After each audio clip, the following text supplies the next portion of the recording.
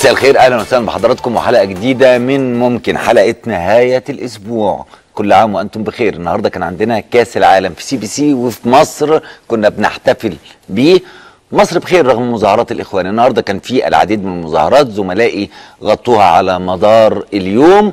مظاهرات عادية. كان النهارده اختبار صعب. ليه؟ ده أول جمعة اللي كان الحظر فيها بينتهي الساعة 7 كان الإخوان بيكثفوا من نشاطهم جدا قبل فترة الحظر ومع ذلك عدت على خير. الأمن استطاع التعامل مع هذه المظاهرات بمعنى إنه ما حاولش يشتبك معها. حدثت بعض الاشتباكات في أماكن مختلفة. عندنا ضحية النهارده طفل فلسط... طفل صغير اسمه إيهاب أحمد سليم. الروايات مختلفة حوله. بعضهم بيقول إنه آه، بص آه، أثناء المظاهرات اتوبيس داسه ووالد الطفل بيقول إن الإخوان قتلوه وإنه مصاب بخرطوش. الحقيقة فين؟ هنحاول نوصل إليها لكن في النهاية البقاء والدوام لله في هذا الطفل. لكن إحنا قدام حالة بتقول إن مصر بتنتقل. هل نتوقع إن الإخوان هيهدوا؟ الإخوان ما هيهدوش. الإخوان هيفضلوا يحاولوا أعدادهم آه بتقل. لأن القدرة التنظيمية اتضربت بالقبض على ناس كتير لأن عملية التمويل في حصار على التمويل فإذا كان في عناصر بيدفع ليها آه، مش قادرين يكملوا إنفاق وهكذا. تستمر الحياة مصر هتتغير. أهم شيء إن إحنا نكمل في طريقنا. نكمل يعني نشتغل يعني نبني ما نقفش. طيب النهارده عايز أقول لكم ان أنا شغال على المرور والمرور واحدة عايز تعرف اي بلد متحضر أو متخلف تبص لمروره. الشارع هو اللي بيحدد شكل بلدنا إيه حجم اللي بنهدره من وقت وجهد وتلوث يفوق الوصف. بعض الأرقام مثلا. القاهرة لوحدها فيها 2 مليون و51 ألف عربية. دي زيادة عن المحدد 100% على الأقل. الطرق اللي زادته من ساعة ما القاهرة دي أنشئت 13% وده رقم هزيل جدا قدام الزيادة في العربيات. في 4000 رخصة شهريا في العاصمة بيصدروا. اتحرر السنة اللي فاتت بس مليون وستمائة ألف مخالفة مرورية وأنتوا عارفين كان في حالة من التسيب وما بت ما بتسجلش مخالفات كتير فالرقم ده ضخم. عندنا 20 مليون رحلة للنقل العام يوميا. منهم 11.5% المترو الأنفاق و16.5 الاتوبيسات النقل العام. عندنا أزمة عايزين نوفر من 450 ل 600 ألف مكان لركن العربيات في القاهرة فقط. خسائر استنزاف الوقود دون استغلاله من المشي اللي أنتم شايفينه بالطريقة البهدلة دي بنخسر 15 مليار جنيه سنويا. تقرير لمنظمة الصحة العالمية بيقول إن معدل الوفيات الناجمة عن حوادث الطرق في مصر هو الأعلى عالميا يصل إلى 41.6 من عشرة في المية لكل 100 ألف نسمة. شيء مفزع يعني. ترتفع حالات الوفاة والإصابة والعجز إلى أكثر من 12 ألف قتيل و150 ألف مصاب سنويا. يعني بيموت لنا 12 ألف واحد سنويا في حوادث الطرق بس. تقريبا عندنا في المتوسط في القاهرة 12 تصادم يوميا. تلت أعداد السيارات اللي في شوارع مصر يجب تخرج من الخدمة تتكهن تلتها منتهية الصلاحية. دلوقتي تم تخصيص 320 مليون جنيه لحل أزمة مرور القاهرة. هل يكفوا أو لأ؟ ده اللي هناقشه مع ضيوف النهاردة. هيكون معايا السيد اللواء مدحت قريطة مساعد وزير الداخلية مدير الإدارة العامة للمرور واللواء حسن البرديسي مدير مرور القاهرة. هنطرح عليكم إيه اللي تم في الفترة اللي فاتت؟ إيه المناطق اللي هيتم فيها تغيير مسارات؟ إيه الكاميرات هتتركب فين؟ عندنا مشكلة في تركيب نوع معين من الكاميرات في المحور والدائري. لو اتركب هيظبط الدنيا وهيظبط عربيات عربيات النقل لكن في مشكلة في التمويل. مشكلته في التمويل هنقولها لكم في هذه الفقرة. طيب. عندي بس آه، ملاحظة أو معلومة خاصة من مصادر اثق بها. هناك اجتماعات تتم الآن بين حماس ويمثلها في ذلك السيد محمود الزهار وبين جماعات جهادية وإرهابية في مصر. منها مش ح... اسمها بتاع القدس الجماعة جماعة بيت المقدس اللي موجودة في آه، سينا بتكلف بعمليات. الاجتماعات المرصودة بتقول أن عملية محاولة اغتيال وزير الداخلية محمد إبراهيم كانت بتنسيق عال جدا أشرف عليه محمود الزهار. وأنه مؤخرا كان هناك اجتماع حضره محمود الزهار وانقسمت الآراء لا داعي لتكرار محاولة الاغتيال فيما كان يرى محمود الزهار إن في مواجهة الضربات وعلشان إضعاف الجبهة الداخلية في مصر وعشان انتقاما من اللي بتعمله وزارة الداخلية لابد من تكرار محاولة اغتيال اللواء محمد إبراهيم. يعني اللواء محمد إبراهيم معرض لمحاولة اغتيال أخرى. اللواء محمد إبراهيم ووزارة الداخلية هم الأقدر بالدفاع عن أنفسهم. هم اللي عليهم الحل يعملوا إيه؟ لكن اللي بتعمله حماس واللي بيعمله محمود الزهار هو اللي يجب إن إحنا نتوقف أمامه. حماس إحنا أهالينا في غزة هيفضلوا على الرأس والعين.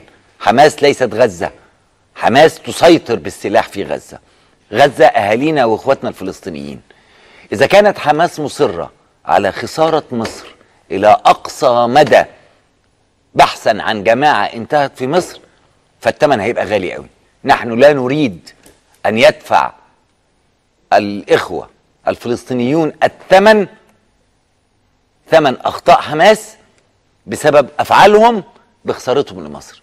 مصر بلد كبير ومصر مصر بلد مؤثر ومصر دفعت ضحايا وشهداء في سبيل القضية الفلسطينية أكتر من الفلسطينيين.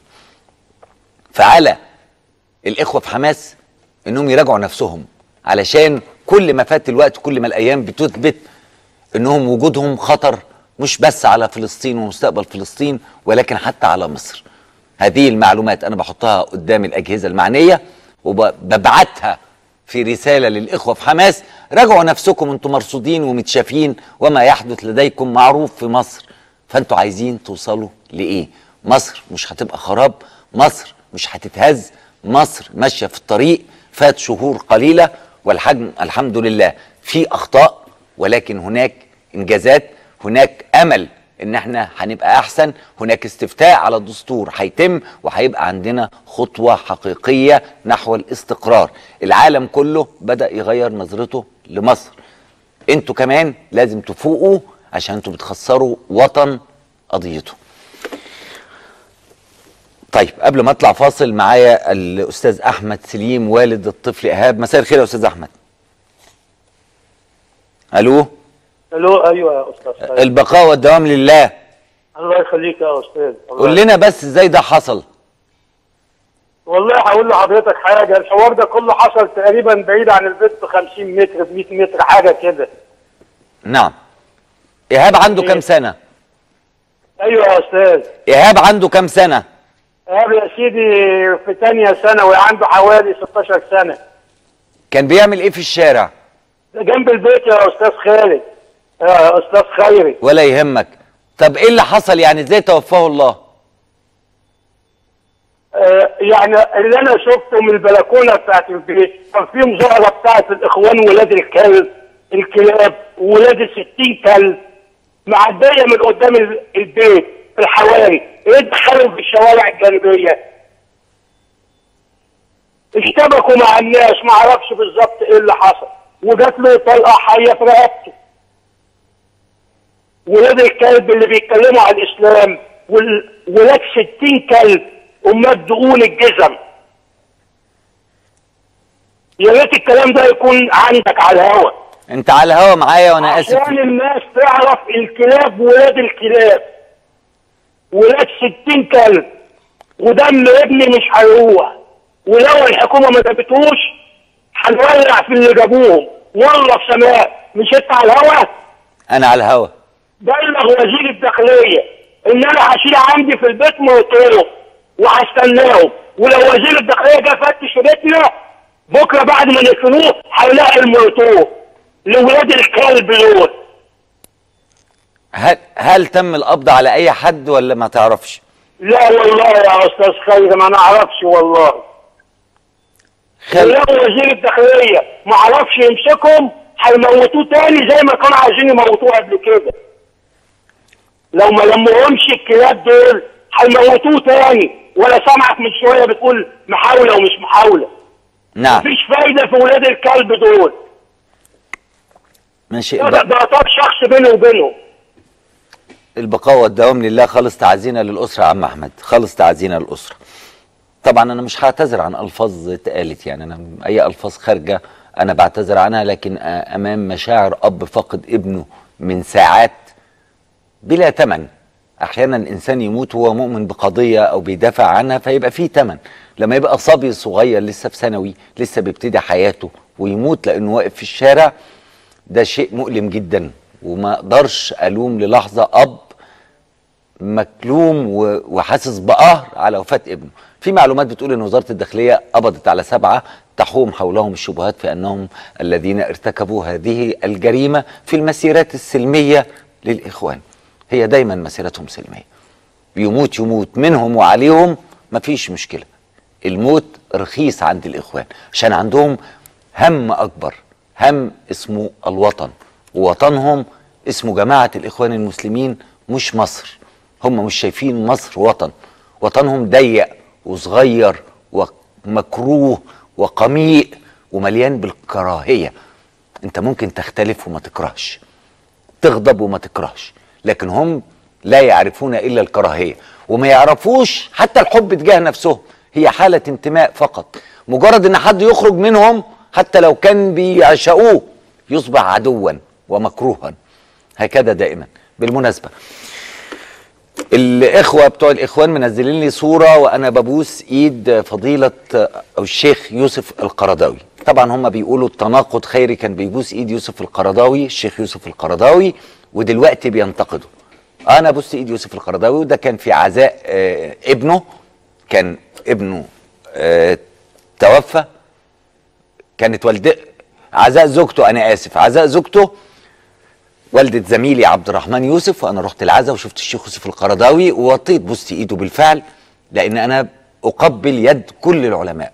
و200 مرة وأنا بتكلم عن الشيخ يوسف القرضاوي أنا واحد من الذين قرأوا كتبه كنت بحترم آراءه الفقهية جدا كنت بحب فيه فكر التجديد ولكن عندما لعب أدوارا سياسية أنا لا أتصيد للشيخ يوسف القرضاوي لو عايز أتصيد ال- الفيسبوك وتويتر مليان حفل زفاف آه، الشيخ يوسف القرضاوي على فتاة صغيرة في الجزائر. كنت زعته أنا لا أتصيد لأن قيمة العالم الشيخ يوسف القرضاوي ليه كتابات مهمة جدا. فأنا كنت بقراه واجله بالفعل. ولكن أنا مختلف ورافض علمه على جنب سيظل علمه له كل الاحترام والشيخ قضى عمره سنوات طويلة جدا في القراءة والبحث لكن في لحظة ما قرر أن يلعب دورا آخر دورا سياسيا لا يصب اطلاقا في في الإسلام ولا يحمل فكرا وأرى أنه يحرض على القتل وانه هو بيدعو الناس للخروج على قواتها المسلحة. كان نفسي يسأل نفسه سؤال هو لو قواتنا المسلحة سقطت هينتصر الإخوان؟ هيبقى الإخوان؟ هيبقوا فين؟ لو شرطتنا انهارت تاني هيبقوا فين؟ هيبقوا أي إخوان؟ هم اللي هيحكمونا بالحديد والنار ولا هم اللي بيدافعوا هيدافعوا عن الحدود؟ أسئلة كتير قوي ممكن أطرحها على الشيخ يوسف القرضاوي لكن أنا ببرد نار الإخوة بس بتوع الإخوان اللي فاهمين إن هم جابوا صيدة كبيرة قوي أنا ببوست إيد الشيخ القرضاوي وهبوس إيد كل واحد عالم زادني حرفا أو علما لأن لحم العلماء مر وأنا لم أتحدث في شخص الدكتور يوسف القرضاوي ولكن أتحدث في سلوك الدكتور يوسف القرضاوي ودوره الذي أراه مشبوها ولا يخدم إلا جماعة واحدة فقط ودولة صغيرة يعيش فيها لم أسمعه يوما. ينتقد التعذيب ولا الذين ماتوا هناك ولا الانقلابات التي تحدث ولكنه يرى مصر فقط. كنت أريد أن أسمع صوته حتى سوريا في لحظات كان ينافق ويجامل بشار الأسد وآل الأسد طوال الوقت ولكن عندما ت- أنت عالم جليل مالك ومال السياسة؟ ما أنتوا طول عمركم بتقولوا لنا كده. فجأة بقت مصر مطمع حلو كده عايزين تكسروها وتدمروها بوست إيده ومش هبوسها تاني. لو شفته مش هبوسها تاني لكن مش هقدر أتكلم فيه كلام قد يكون جارحا. لعلمه اللي الناس هتيجي بعد سنين تقراه فتقول الراجل ده كان مجتهد وبذل جهد كبير ولكن عندما قرر أن يلعب دورا سياسيا خسر كثيرا وخسر معه للأسف الإسلام. نلتقي بعد الفصل مر أول أيام تظاهرات ما بعد الحظر بسلام رغم وجود الاشتباكات والمناورات المعتادة والتي تكررت خلال الأسابيع الماضية. في الأسكندرية توفي طفل صدمته سيارة خلال فراره من اشتباكات بين أهالي منطقة الدخيلة والإخوان وقامت الشرطة بتفريق التظاهرة بإطلاق الغاز المسيل للدموع. تظاهرات للإخوان تقطع شارع عباس العقاد بمدينة نصر وقوات الأمن تدفع بأربع مدرعات إلى الشارع لمنع قطع الطريق. أهالي منطقة الزيتون فرقوا مسيرة إخوانية بعد اشتباكات مع مشاركين فيها لقيامهم بالكتابة على جدران المنازل المسيرة التي أعادت تجميع أعضائها واصلت سيرها إلى محيط قصر الاتحادية واشتبكت مرة أخرى مع عدد من أعضاء نادي هليوبلس بمصر الجديدة.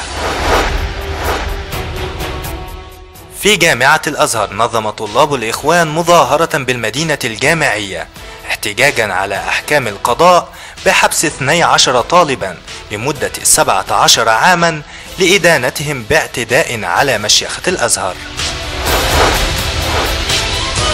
قوة حرس الحدود تحبط محاولات لتهريب الأسلحة والمواد المخدرة والبضائع غير خالصة الرسوم الجمركية وتدمر ستة أنفاق تهريب برفح. بلغت خسائر الشركة المصرية لإدارة وتشغيل مترو الأنفاق ما يقرب من الخمسين مليون جنيه منذ بداية حظر التجوال حتى نهايته.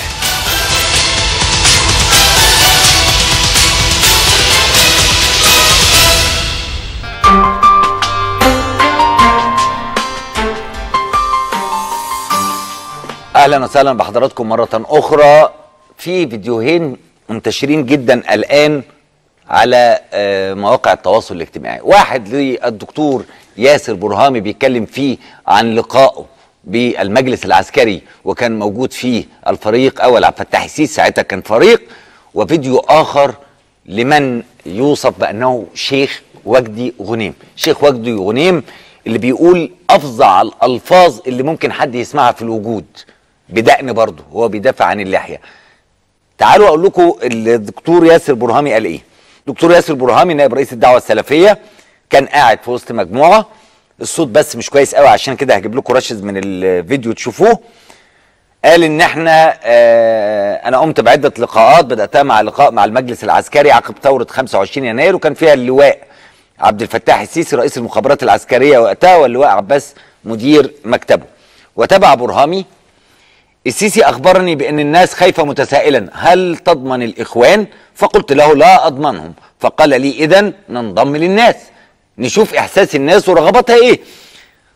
مضيفا أنه طلب منه صراحة أن تكون المبادرة بضمان الدعوة السلفية وحزب النور وتضم الكيانات الآتية ويوقعوا عليها. الدعوة السلفية حزب النور الإخوان المسلمين والحرية والعدالة المجلس الأعلى للقوات المسلحة مجلس القضاء الأعلى رئيس ووكيل مجلس الشعب والمخابرات العامة. ده بعد 25 يناير. وقال إن المبادرة نصت على توجيه رسالة طمأنة قوية لجميع مؤسسات الدولة بكافة أطيافها واتجاهاتها والحرص الكامل على دعم الدولة الحديثة بكافة عناصرها. بالإضافة لتقديم تعهدات من الرئيس القادم وجميع مؤسسات الحكم تضمن الاستقرار داخل الوطن. كلام ما فيهوش حاجة.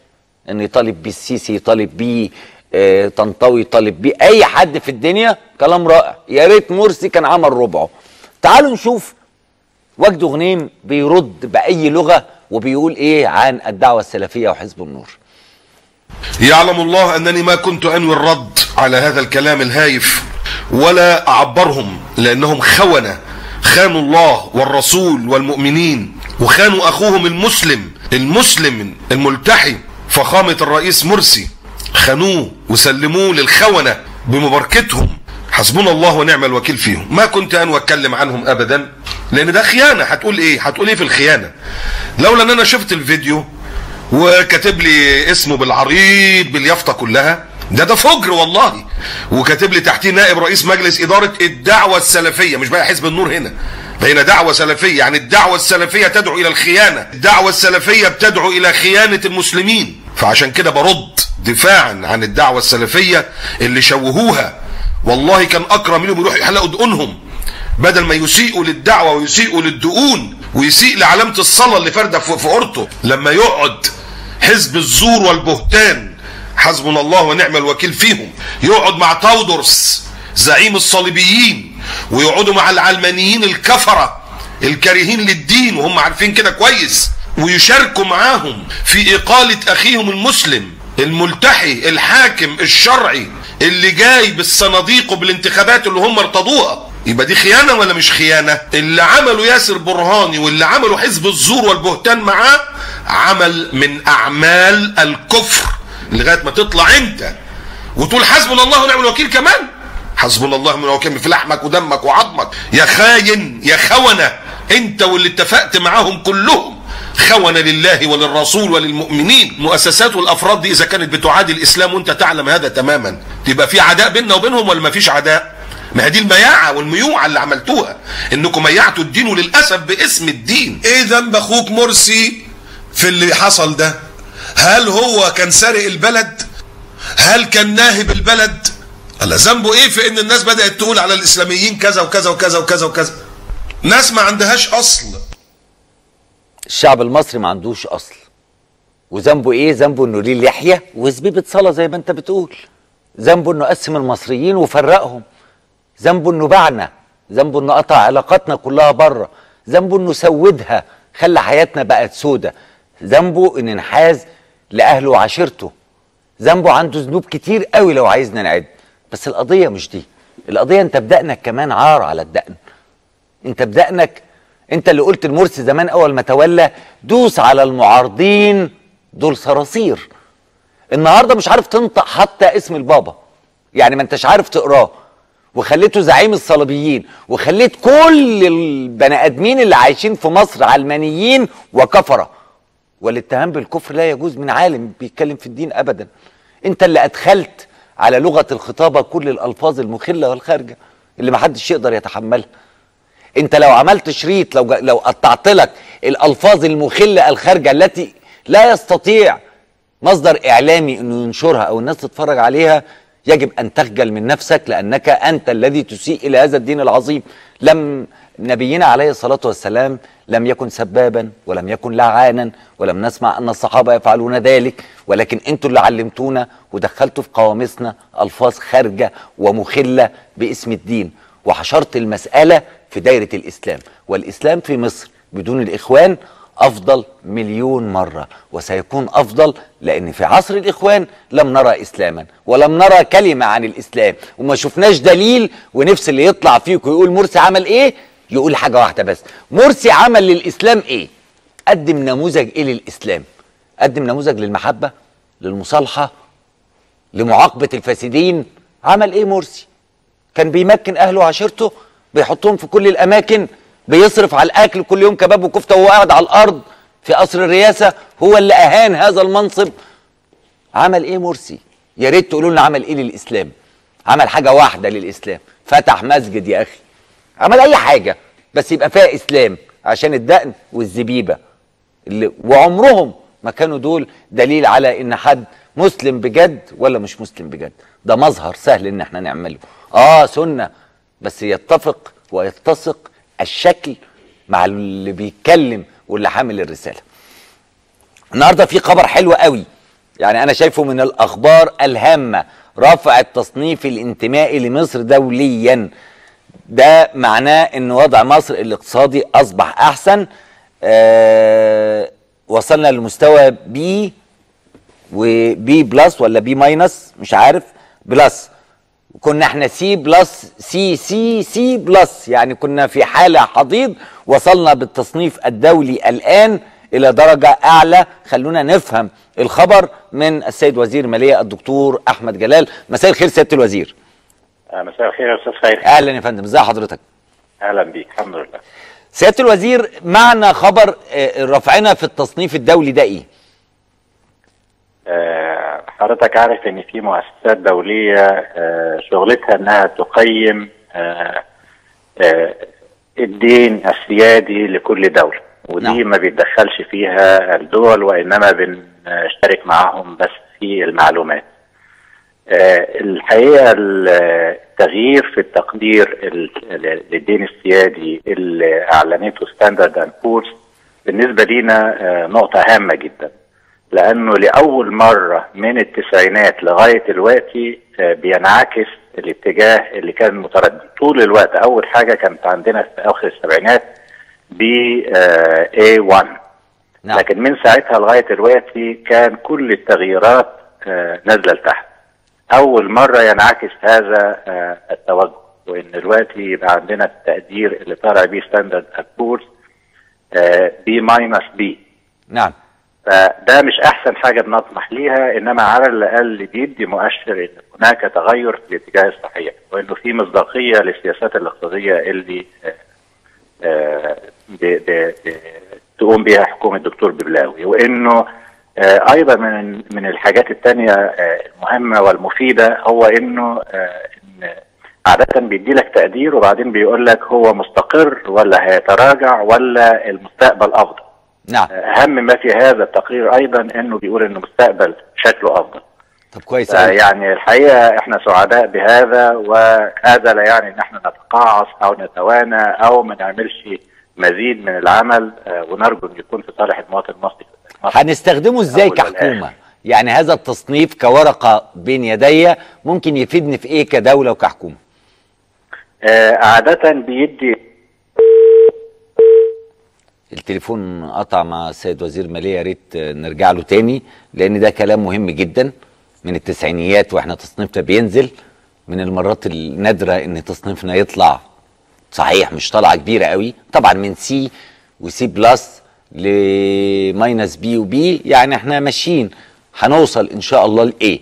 يعني نتمنى إن يكون فيه تقدم لحد ما نوصل لمرحلة تنتهي كل المرحلة الانتقالية دي فنلاقي نفسنا في منطقة اقتصادية كويسة. من يتولى الحكم؟ الحكومة اللي تيجي تستطيع إنها تعيد بناء الوطن مرة أخرى. طبعا في جزء من هذا الأمر لا- له علاقة بالدعم اللي لقيناه من الدول العربية الشقيقة الإمارات السعودية الكويت. ده كان ليه دور طبعا في الاحتياطي النقدي المصري معانا تاني السيد الوزير أحمد جلال أيوه سيادة الوزير اتفضل يا فندم آه، لا حضرتك كنت بتسأل إن ده بيعني بالظبط؟ إحنا هنستفيد بيه إزاي آه نستفيد بيه إزاي؟ اولا لما بيبقى في آه، تقدير من هذا النوع آه، المستثمر الأجنبي والمقرض الأجنبي لمصر أو المقرض المحلي بيجد إن آه، الاقتصاد المصري لديه مصداقية ويبقى عنده استعداد إن يضخ أموال في آه، هذا الاقتصاد وبيبقى عنده استعداد أيضا إنه يسلف مصر بمعدلات أقل. فبشكل عام هي نظرة إيجابية من المجتمع الخارجي للاقتصاد المصري وده مفروض أن يعود علينا بعوائد متنوعة على كل حال. هل هنستخدم هذه الورقة في التفاوض مع صندوق النقد ولا ملف صندوق النقد الدولي ده مؤجل أو مرحل؟ لا ما بقى يعني حضرتك يمكن سمعتني مرات كتيرة بقول بالنسبة لصندوق النقد الدولي آه، إحنا كنا محتاجينه آه، يا إما عشان الأموال أو عشان يبقى آه، نعمل نوع من المصداقية نعم. من ناحية الأموال بصراحة ما إحناش محتاجين هذا القرض.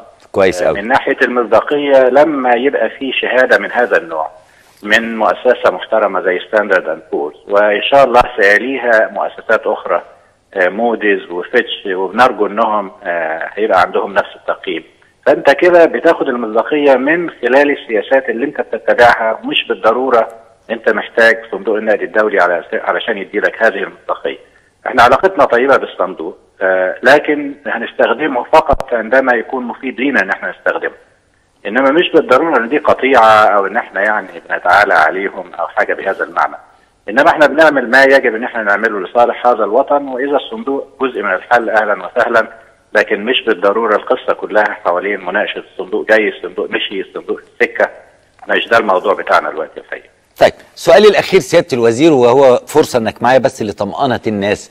هل يا ترى عند توقف المعونات الخارجية التي تصل مصر, مصر الآن من الدول الشقيقة إحنا هننهار هتبقى عندنا أزمة ولا إحنا مستعدين لده وده شيء ما قلقناش ومتوقعينه؟ ده يمكن من أهم الأسئلة وأهم التحديات اللي بتواجهنا الحقيقة نعم يعني أنا أعتقد إن السؤال جيد للغاية وهذه الحكومة آه، واعية جدا لأنه بنحاول نتعامل مع المشاكل الآن لكن بنؤسس للمرحلة المقبلة. طبعا لما بيجي لك مساعدات من الخارج بهذا الحجم آه، مش هتتكرر كتير أو مش ده اللي نعول عليه على كل حال. نعم وبالتالي إحنا بنستخدم هذه الأموال بشكل حصيف بنستخدمها في استثمارات مش في استهلاك. بنستخدمها في زيادة ال ال الاحتياطي آه، لدى البنك المركزي وبالتالي لسه موجودة هذه الأموال. آه، زائد إن إحنا بنتخذ من الإجراءات اللي بتقلل من عجز الموازنة وبالتالي الحاجة بتبقى أقل على مرور مع مرور الوقت على آه، للأموال من الخارج. فيعني الحقيقة إحنا بنسعى بشكل حثيث إن إحنا نتأكد إن إن الحكومات القادمة ستكون أحوالها أحسن من أو هتواجه مشاكل أقل بكثير من المشاكل التي آه، واجهتها هذه الحكومة آه، من نص من نصف يوليو إن شاء الله. بإذن الله. بشكرك جدا سيادة الوزير دكتور أحمد جلال وزير المالية. النهارده أخبار كويسة كتير. يعني من حقنا إن إحنا نحاول نفرح شوية بتشوفوا طبعا بعض القنوات الفضائية اللي بتقدم إعلانات مش سافلة بس ولكن كاذبه كمان. طبعا منتشرة جدا وإحنا اتكلمنا في ده زمان وبتكلم فيه بقالي سنين. يا جماعة ما ينفعش بيع أدوية عبر شاشات التلفاز. ما ينفعش واحد قاعد يتفرج فيتقال له آه، الواحدة بواحد. ما ينفعش أجهزة بتعمل إيه وتصغر إيه وتكبر إيه ده عيب إنه يتقال في تلفزيونات في حاجات دقيقة جدا يجب أن يكون هناك اعتماد علمي عليها. ما ينفعش حد يقول لي تجيب مية وتحط فيها العشب تحط رجليك كبدك يبقى كويس وظهرك يبقى كويس وشعرك يطلع في ودانك. ما حدش يقول كده. ويقول لك في النهاية مرخصة من وزارة الصحة. في حين أن وزارة الصحة أعلنت على إنها هتتخذ عدد من الإجراءات ضد القنوات ال- الفضائية اللي بتعلن مثل هذه الإعلانات. عايز أقول لكم إن أغلب هذه الإعلانات كانت في القنوات الدينية المقفولة. فكتير من العلاج بالأعشاب والعلاج بمش عارف إيه والصلع والتخن والرفع والأكل والشرب والجنس وكل شيء في حباية وفي دواء وفي عشب وفي كيس. ويجيبوا لك حاجات من بره ويمشوها هنا وتبقى وخداع وابعت وهتجي لك لحد البيت. وكل ده وهم وكل ده خارج نطاق المراقبة الصحية. وزارة الصحة يبدو أنها ستتخذ إجراءات ضد هؤلاء مع الهاتف الدكتورة مها رباط وزيرة الصحة. أهلا وسهلا دكتورة مها أهلا بحضرتك. أهلا بحضرتك دكتورة. دكتورة وزارة الصحة هتعمل إيه في سيل الإعلانات اللي بينزل على القنوات الفضائية بلا أي ترخيص من وزارة الصحة؟ بعضهم بيدعي كذبا أن لديه ترخيص. بص حضرتك هو إحنا دلوقتي دي ليها شقين نعم. وزارة الصحة في الهيئة ال- في ال- في إدارة الرقابة ليها دعوة بالإعلان عن المنشآت الصحية في أي مكان. إنما إدارة الصيدلة هي اللي بتكون مسؤولة عن إعطاء التصاريح لهذه الأدوية. للاعلان عنها في حاجة اسمها اللجنة الفنية. نعم. أي دواء بيعلن عنه ما بياخدش هذا ال- التصريح المفروض إن إحنا بنتقدم ببلاغ للنيابة العامة المفروض إن هي تقوم بدورها في تتبع هؤلاء الأشخاص وتتبع ال- العملية كلها. المفروض إن إن وزارة الاستثمار تمنع صدور أي أو تمنع تدي تراخيص لأي قناة أو لأي عملية يتم فيها الإعلان عن هذه الإعلانات اللي هي بتتم على الأدوية المعينة بدون أخذ تراخيص ولازم تكون دي حاجة واضحه واضحة جدا في أي تشريعات أو أي إجراءات تتخذ. إحنا من ناحيتنا بنبلغ وزارة الاستثمار وفي نفس الوقت بنقدم بلاغات للنيابة العامة. نعم. هل هيترتب على ذلك إغلاق بعض القنوات أو اتخاذ إجراءات بالفعل ضدها؟ هل بتت... بتتم متابعة ده لأن كتير سمعنا عن ده وفجأة الأمور تنام ونلاقي الإعلانات زي ما هي موجودة. هي جت في فترة يعني من من كذا سنة أو من سنتين تقريبا كان في إعلانات كتيرة جدا جدا وتم فعلا أخذ إجراءات وكانت إجراءات عنيفة فعلا. تم لو حضرتك تلاحظ إن آه، قلت قوي الإعلانات دي ابتدت تظهر تاني في الفترة الأخيرة. نعم. وبالتالي إحنا المفروض إن إحنا نتتبعها أكتر. لازم يكون في تعاون مع النيابة العامة ولازم يكون في تعاون مع وزارة الاستثمار لأن ما يكفيش إن أنا مجرد إن أنا أقول أنا عندي بلاغ إنما لازم يكون في الإجراءات التي تتبع بعد ذلك اللي هي هتعضد هذه ال- البلاغات وهذه الشكاوى بشكرك جدا دكتورة مها رباط وزيرة الصحة. طيب في جدل الآن بين الصحفيين والصحفيين لما يبقى بينهم جدل هيبقى صداع وجع دماغ ولازم نشوف إيه الموضوع. المسألة لها علاقة بالتطبيع والسفر إلى الأراضي الفلسطينية في ظل الاحتلال نقابه الصحفيين واخدة قرار. إحنا ده قرار جمعية عمومية بعدم التطبيع والسفر إلى الأراضي المحتلة. ولكن عدد من زملائنا الصحفيين سافروا إلى الأراضي الفلسطينية في رام الله بدعوة من اتحاد الصحفيين الفلسطينيين للمشاركة الأسبوع في الأسبوع الوطني الفلسطيني وإحياء ذكرى الذكرى العاشرة لاستشهاد الرئيس الفلسطيني السابق ياسر عرفات. عدد كبير من الصحفيين اعترضوا على خرق قرار الجمعيه العمومية لنقابة الصحفيين بمنع التطبيع. دايما بيتقال في الحالات دي إحنا ما خدناش ختم على الجواز إحنا دخلنا بطريق آخر قانوني لكن ما خدناش ختم على الجواز من السلطات الإسرائيلية. إحنا بنرفض التطبيع التطبيع يعني إن ناخد الختم على جوازي من السلطات الإسرائيلية. فيبقى هي اللي بتسمح لي بالدخول أو لا. خلونا نفهم زمايلنا اللي سافروا عملوا إيه. معي زميلي عضو مجلس نقابة الصحفيين هشام يونس الموجود حاليا برام الله ضمن الوفد المصري. مساء الخير يا أستاذ هشام. أستاذ خير. أهلا بيك. أستاذ هشام أنا بكلمك أنت في رام الله أنا في رام الله دلوقتي ولسه منتهيين من لقاء مع أهالي الاسرى آه، في سجون الاحتلال الإسرائيلي ولجنة دعم الاسرى في فلسطين. طيب أستاذ هشام أنت تعلم لأنك عضو مجلس نقابة ورجل نقابي عريق تعرف قرار الجمعية العمومية بمنع التطبيع مع إسرائيل. آه. فكيف سافرتم ولماذا آه، لم تعودوا للنقابه كيف سافرنا إلى فين يا أستاذ خير إلى رام الله. هي رام الله دي بقت إسرائيل دلوقتي ولا لا مش إحنا- إسرائيل بس أنت هل حصلتم على تأشيرة من إسرائيل؟ لا طبعا ما حصلناش على تأشيرة والنقابة تعلم هذا واتحاد الصحفيين يعلم هذا وإحنا التقينا امبارح مع الرئيس أبو مازن آه، ضمن أسبوع الشباب الفلسطيني والتقينا أكثر من مرة مع السفير المصري وإحنا جينا بدعوة من نقابه الصحفيين الفلسطينيين وعرضت على مجلس النقابة ووافق عليها مجلس النقابة آه، سمعك. وافق عليها مجلس النقابة وكانت بدعوة من اتحاد الصحفيين العرب وبتنسيق تام مع ال- الجهات المعنية في وزارة الشباب في فلسطين وموجود هنا نائب رئيس نائب وزير الشباب المصري طيب. آه وبس الموضوع يعني إحنا طب أستاذ أستاذ هشام خليك معايا لأن أنا معايا الأستاذ كريم محمود سكرتير عام النقابة زميلك العزيز وفي كلام إن هو بيقول إنه هيحيلكوا للتحقيق فنفهم ال- الوجه الآخر. أستاذ كريم مساء الخير. أستاذ كريم؟ أيوه. مساء الخير. مساء النور. أنا معي على الهاتف من الناحية الأخرى الأستاذ هشام يونس. وهناك معلومات منسوبة إليك إنك أصدرت قرار بإن سيحال الزملاء للتحقيق. هل الأستاذ هشام بيقول إن عرض الأمر على مجلس النقابة قبل السفر؟ آه يعني اولا مساء الخير و آه أنا بشكرك على توضيح هذا ال- يعني ها يعني هذا الموضوع لل- للرأي العام سواء الرأي العام المصري أو أو الرأي العام الصحفي يعني. لكن نعم. آه هو بالفعل ال ال الزياره آه عرضت على مجلس النقابة بموافقة منه آه وهي بدعوة من نقابة الصحفيين الفلسطينيين آه، وبالتنسيق مع اتحاد الصحفيين العرب. ولكن طبعا الدعوة آه، كانت قاصرة على زيارة الأراضي الفلسطينية ال- ال- في الضفة الغربية ومدينة رام الله والالتقاء مع الشخصيات الفلسطينية. آه، ما أثير آه، يعني لسنا بالتحديد آه، متأكدين منه أن هناك بعض ال- الزملاء آه، آه، دخلوا إلى القدس المحتلة. وهذا هو آه، يعني ما نود معرفته من الزملاء. لم يحال طب أنا معايا. الأستاذ هشام. أستاذ هشام أنتوا دخلتوا لم يحال القدس؟ أحد. أنا يعني بس أكمل لم يحال أحد إلى التحقيق. إحنا نعم. قلنا إنه سنحقق في الواقعة وما تردد عن إنه بعض الزملاء دخلوا إلى القدس المحتلة. نعم. لأنه القدس المحتلة طبعا غير الأراضي الفلسطينية غير غير الضفه الغربية ورام الله طيب أستاذ هشام هل في حد دخل القدس وكيف دخل؟ يا أستاذ خيري بس أنا أنا عايز أوضح حاجة. اولا ال- الوقت إحنا موجودين في ضيافه نقابه الصحفيين الفلسطينيين.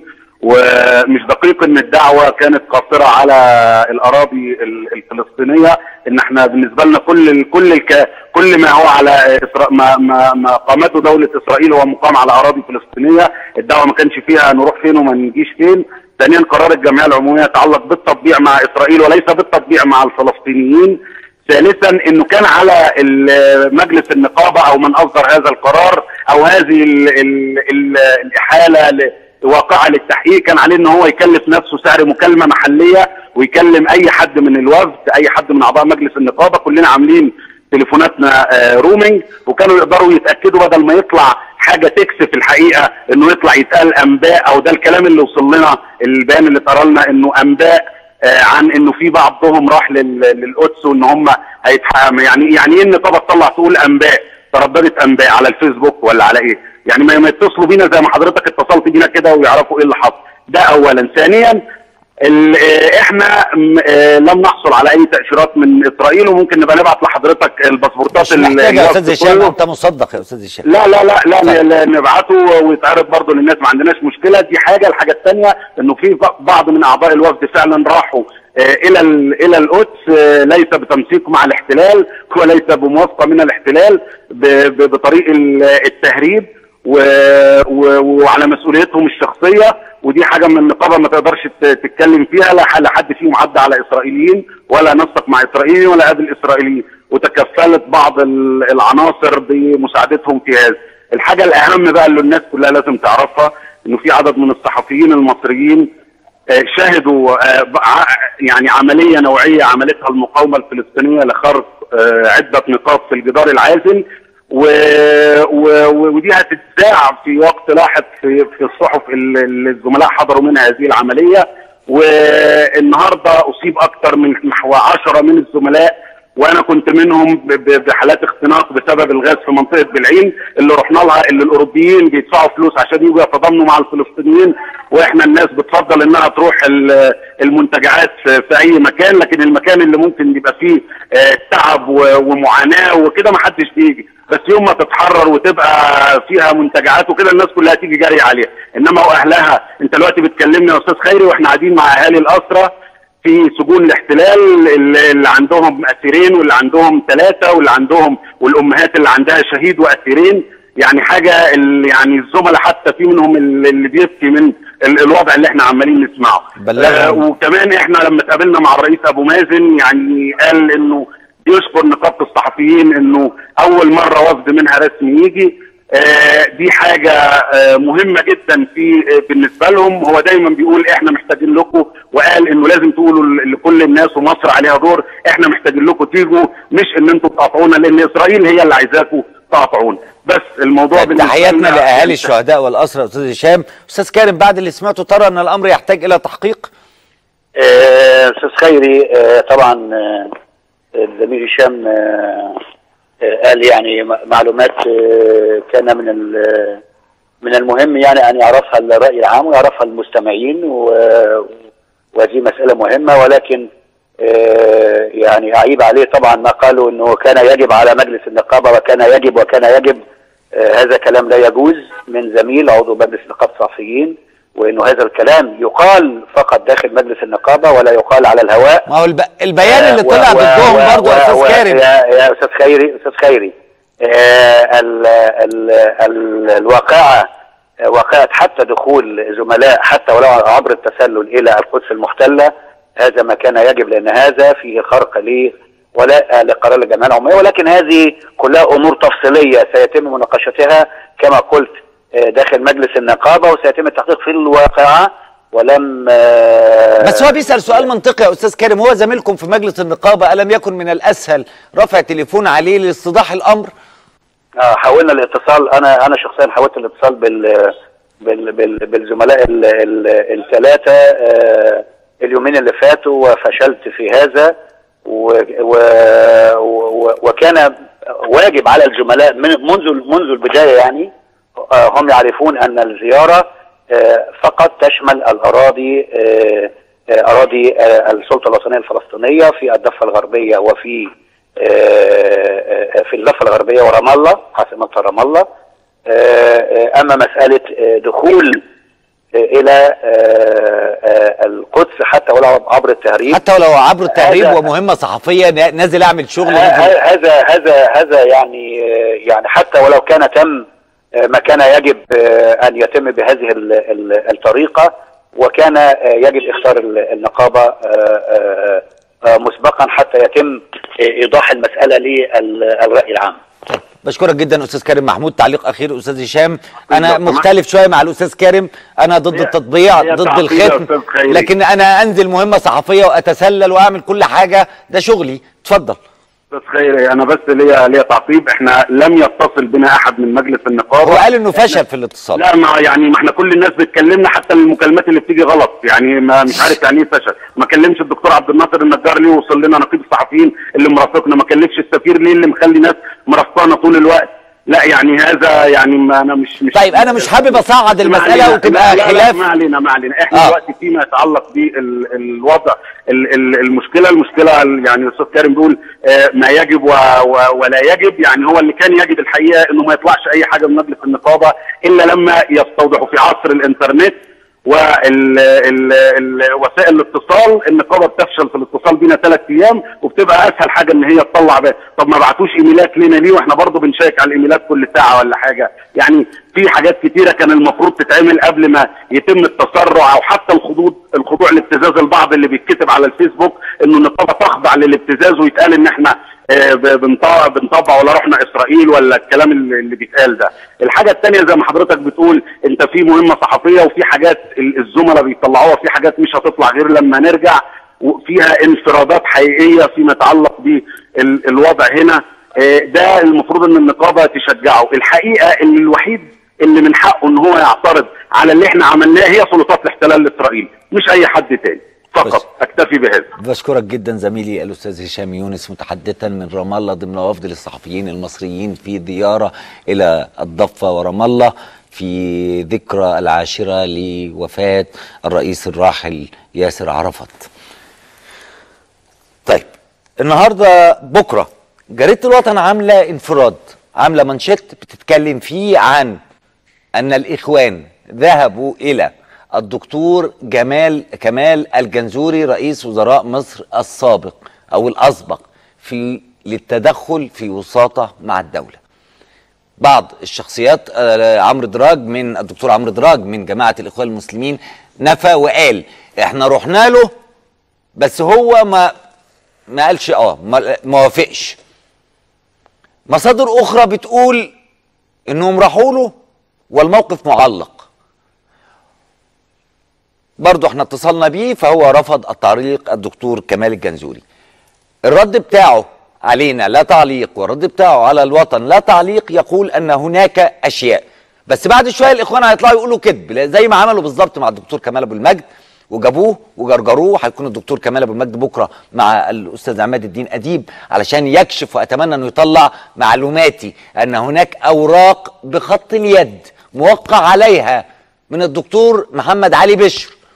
موقع عليها في الاتفاق. بس هم اساتذه إنكار. إحنا قدام مفاوضات جديدة. قولوا لنا عايزين إيه؟ عايزين نخلص. عايزينكم تعيشوا. وعايزين البلد دي تعيش وتستمر. طيب. أنا قلت لكم هيكون معايا بعد قليل السيد اللواء مدحت قريطة مساعد وزير الداخلية مدير إدارة عامة للمرور اللواء حسن البرديسي مدير الاداره العامة للمرور القاهرة. لكن في نهاية الفقرة وكل أسبوع هعمل لكم شوية لقطات صغيرة تبصوا عليهم معايا. واحد النهارده 15 نوفمبر. 15 نوفمبر هو ذكرى ميلاد عميد الأدب العربي الدكتور طه حسين الذي طلب أن يكون التعليم كالماء والهواء. في وقت مدارسنا خربانة لا فيها ماء ولا هواء ولا حنفية ولا دورة ميه طيب أيضا 15 نوفمبر دي ذكرى وفاة المناضل المصري الحقوقي الكبير محمد فريد الزعيم محمد فريد أنفق كل ما يملك في سبيل القضية المصرية. ال- محمد فريد كان بكلمة منه بيخرج الآلاف لما حاول ودعا إلى كتابة دستور يليق بمصر. محمد فريد ما زايدش على مصر وما دعاش لفرقة لكن كان يستطيع بمحبة الناس وبإيمانهم برسالته إنه يخرجهم في مظاهرات حقيقية في حديقة كبيرة حديقة الجزيرة دون أن يعطل مرور ولا يصطدم ولا يهدد ولا يفعل شيء. مات فقيرا مات في الخارج. تم نفيه ومات في الخارج. ما قدرتش أسرته حتى تدفع مصاريف نقله عشان يدفن في بلده. تاجر من الزقازيق هو اللي عمل ده. شبكة رصد نشرت منذ أيام أن عدد من قيادات الجيش زاروا مرسي وعرضوا عليه مبادرة للتوبة. وقالوا له إحنا غلطنا انت اللي عظيم قالوا له إحنا مستعدين نطهر الجيش بقى من اللي فيه ونبقى كويسين قوي بس انت ترضى. وقالوا له انت شايف إيه عشان نصلح حل البلد؟ ده رصد اللي كاتبه كده. ده ردده كمان عمرو فراج نفس الراجل اللي عمل تسجيلات قبل كده اللي كانت مقتطعة للفريق السيسي. لكن مرسي نفسه محدش أخد باله في البيان اللي طلعه وسربه إذا كان هو اللي مسربه مش مكتب الإرشاد يعني. قال في الرساله اللي وجهها من خلال المحامين دول إيه؟ إنني لم ألتقي أحدا من المس- القوات المسلحة أو ممثلين عن وسائل الإعلام وكل ما نسب إلي ليس له أساس من الصحة. طبعا وسائل الإعلام هو بيتكلم على الانفراد بتاع الوطن بس مين قال لك إن ده كان وسائل الإعلام؟ ده اختراق ضربة وبعدين بالصوت والصورة ما ينفعش الحاجات دي تتنفي. طيب بسرعة صفحة اللي وقفنا قدامها ده بجد. كل أسبوع هنشوف كذب الإخوان ونبينه لكم. بيعملوا إيه؟ وصفحة ده بجد من الصفحات العظيمة اللي مش منحازة. يعني هتلاقوا هنا صورة للراحلة آه، أسماء البلتاجي. الله يرحمها ويغفر لها ويصبر والديها على وفاتها. خلينا أبتدي الأول. عمرو حمزاوي يرفع علامة رابعة. فين عمرو حمزاوي يا شباب؟ أدي عمرو حمزاوي رفع علامة رابعة واخدها الإخوان وقالوا رابعه أصل الحكاية إيه بقى؟ عمرو حمزاوي كان بيتكلم في ندوة سنة 2011 هو كان ما كناش بنستخدم الأربعة قبل كده أنا دلوقتي طالما أنا مش جاي على الكاميرا أقدر أعمل أربعة علشان ما يستخدموهاش. آه. سهل جدا ده الأصل وده الصورة. طيب ما سهل جدا إن أنا أقول واحد اتنين تلاتة أربعة وأعمل كده. تبقى رابعة؟ هي رابعة دي اتولدت قبل كده. طب ما رابعة العدوية موجودة طول عمرها. هي بتاعتكم. طيب التاني. نزل وقال لك الحق. شفتوا الكدابين أسماء البلتاجي عايشة. أسماء البلتاجي موجودة في القدس. أهي أدي الصورة لفتاة شبيهة بأسماء البلتاجي. دي مش أسماء. هاتوا الأصل يا جماعة. دي فعلا فيها شبه لكن دي بنت فلسطينية اسمها إيمان الطويل أنا قريت لها امبارح وهي قاعدة تقول لهم أنا مش أسماء أنا إيمان الطويل وده كذب. دي صورها في أشكال مختلفة. برضو اللي عايزين يضربوا في الإخوان بشكل آخر ما تضرب فيهم هم عندهم اللي ما يكفيهم يعني تقدر تنتقد زي ما انت عايز. مش محتاجين كذب مش محتاجين تلفيق لوحده بين يدي الرحمن. طيب قال لك السفير المصري في إسرائيل يقطع كعكة مع نتنياهو وبريز ودي الصورة. تطلع الصورة دي إمتى يا شباب؟ الصورة دي كانت 2009 بس عايز أقول لكم حاجة. ويقول لك إيه؟ الجبنة الإعلام اللي خرس وما اتكلمش لكن صديقي الوفي كانوا شاطرين بس. آه صديق الوفي دي مصيبة لما رئيس جمهورية يكتب صديق الوفي. وأنا اتمنى الدوام والعز والنهضة لدولتكم. دولة مين يا عم؟ هو ده كان كلام يكتبه رئيس. لما سفير يقابل رئيس وزراء إسرائيل أو رئيس إسرائيل أمال هو موجود هناك ليه؟ ده جزء من شغله ومن دبلوماسيته إنه يقابله. هو دي المقارنة؟ رئيس جمهورية قاعد في التكييف يبعت يقول له صديق الوفي وسفير هناك ومن 2009 كمان. ده أنتوا مش عارفين تجددوا. طيب آخر حاجة. كاتبين القبض على 20 آه، في باريس بعد محاولة كتاباتهم على الجدران. أدي الصورة. فقال لك بقى كانوا هيكتبوا إيه؟ رابعة ويسقط يسقط حكم العسكر. الصورة دي طلعت إيه يا جماعة؟ الصورة دي الأصل بتاعها. طلعت في بعد مباراة لباريس سان جيرمان. فحصل اللي أنتوا شفتوه لما بدأوا يخربوا ويحتفلوا فبدأت الشرطة تتعامل معاهم بهذا العنف. دايما الحقيقة لها وجه واحد بس عايزة اللي يدور عليها. والكذب ليه اوجه عديدة لا يلجأ إليه إلا الضعفاء والجبناء. ربنا يحمينا منهم. هنطلع فاصل بعد الفاصل سأستقبل ضيفي العزين في حوار يهمك ويهمني. نفسنا نعرف نمشي في مصر. عربيات نظيفة شوارع نظيفة هواء صحي واللي يغلط لازم يدفع. ليه كل الدول شك... ليه دول الخليج كل حاجة منتظمة فيها؟ ليه المصري بيمشي زي الألف لما يسافر أي بلد؟ وليه هنا بيخرب فيها؟ ده اللي هحاول أفهمه مع ضيفي العزيزين نلتقي بعد الفاصل.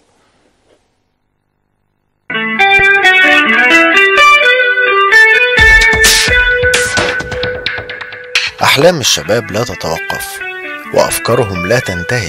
أنا حلمي إن نعمل حاجة من ال technology تساعد في حل مشاكل الناس. فكرتي إن أنا عايز أعمل حاجة جديدة حاجة تضيف في المجال الطبي وخصوصا إن هو مجال صعب إنك حد يبقى creative فيه إن هو يعمل فيه فكرة. ابتكار لزيادة طول القامة الجهاز بيزود طول الإنسان من 5 ل 7 سم مؤخرا أعلنت الهيئة العامة للاستثمار عن تدشين أكاديمية بداية بالتعاون مع جمعية مكسبي لرواد الأعمال.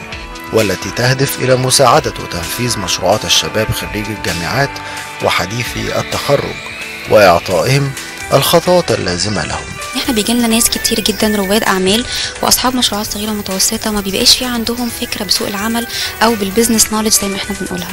آه، من هنا جات لنا فكرة إن إحنا عايزين نعمل لهم برنامج متكامل يقدر يديهم النولج اللي هم محتاجينها المعرفة اللي محتاجينها ويكسبهم كمان مهارات إزاي يقدروا آه، ينشئوا شركاتهم ويديروها بشكل ناجح وفعال.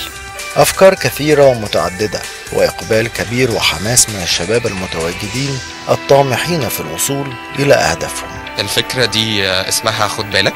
آه، خد بالك إحنا بنحاول نعمل لوكيشن based emergency network يعني بنبني آه، شبكة تواصل هدفها تنبيه الناس في وقت المخاطر المحيطة بيهم. هي الفكرة اولا جت عن بداية إن إحنا نزلنا مستشفى ولقينا في خطأ معين في جهاز غسيل الكلى إن هو بياخد الأملاح بتاعته من open source من مجال مفتوح عن طريق جيركن محطوط قدام المكنة. فإحنا قلنا لأ إحنا عايزين نشيل الجزء ده نخليه closed أكتر نخليه مغلق ويقلل العدوى للمريض. فإحنا عملنا جهاز إن هو ينتج المحلول ده داخل المستشفى إنتاج يومي. الإنسان بعد ال- المفترض إنه بعد ما يوصل لسن البلوغ هو ما بيطولش. لكن تم اكتشاف إن الغضاريف ممكن تطول اللي هي بين الفقرات بتاعة العمود الفقري. فنتيجة تباعد ال- العظم بتاع الفقرات بيؤدي لأن الغضاريف بتكبر من 5 ل 7 سم كان already فعلا في حوالي ست أجهزة موجودة في العالم بت بت بتعمل شغالة على الجزئية دي. إحنا جبنا أحد النماذج منها وطورناه وطلعنا بجهاز Grow Max لزيادة طول القامه بعد كده طورت الفكرة طب ليه ما يبقاش جيم؟ يعني ان أن ده تخصصي وأنا ابتديت أفهم في التدريبات اللي لها علاقة بزيادة طول القامه فعملنا mix ما بين الجهاز وما بين التدريبات الرياضية اللي هي بتؤدي لزيادة طول القامه وعملنا Taller Gym. كل session بتمشي على نهج إنه بنبتدي الأول بنعمل زي briefing بسيط كده على ال session اللي قبليها وبعد كده بنبتدي نتكلم في موضوع ال session وبعدين بنديهم وقت آه، من ساعة لساعة ونص يبتدوا هم يتكلموا ك team ويطبقوا اللي أخدوه في ال session ده عشان نبتدي نحدد فين نقط الضعف اللي موجودة في الشركة بتاعتهم أو إيه اللي محتاجينه في الشركة بتاعتهم عشان يتقدموا لقدام. إحنا بنعرف technology كويس آه، من من ال background اللي إحنا جايين منها بس آه، ما عندناش ال knowledge الكافية إن إحنا آه، نعرف business نعرف marketing وده اللي إحنا آه، شاركنا في بداية علشانه. هتربطني بقى إزاي؟ أنزل المنتج بتاعي للسوق. هي هتربطني إن أنا تعمل لي الكيان القانوني القانون الإداري الكيان اللي أنا هش- هشتغل بيه. إحنا الموضوع ده ممكن يكبر. يعني ممكن يكبر وممكن يبقى أعلى بس هيكبر إزاي؟ لازم يكون أنت عندك مبادئ ال business فكرة مشروع أكاديمية بداية فكرة هامة جدا وهي تحمل مستقبل حقيقي ومختلف. ولذلك يجب على هيئة الاستثمار وأكاديمية بداية أن تكون على مستوى الفكرة وتقدم للسوق المصري والمجتمع المصري أفكار ومشروعات شبابنا. فتحقيق الطموح هو أول خطوات النجاح. وليد فريد ممكن.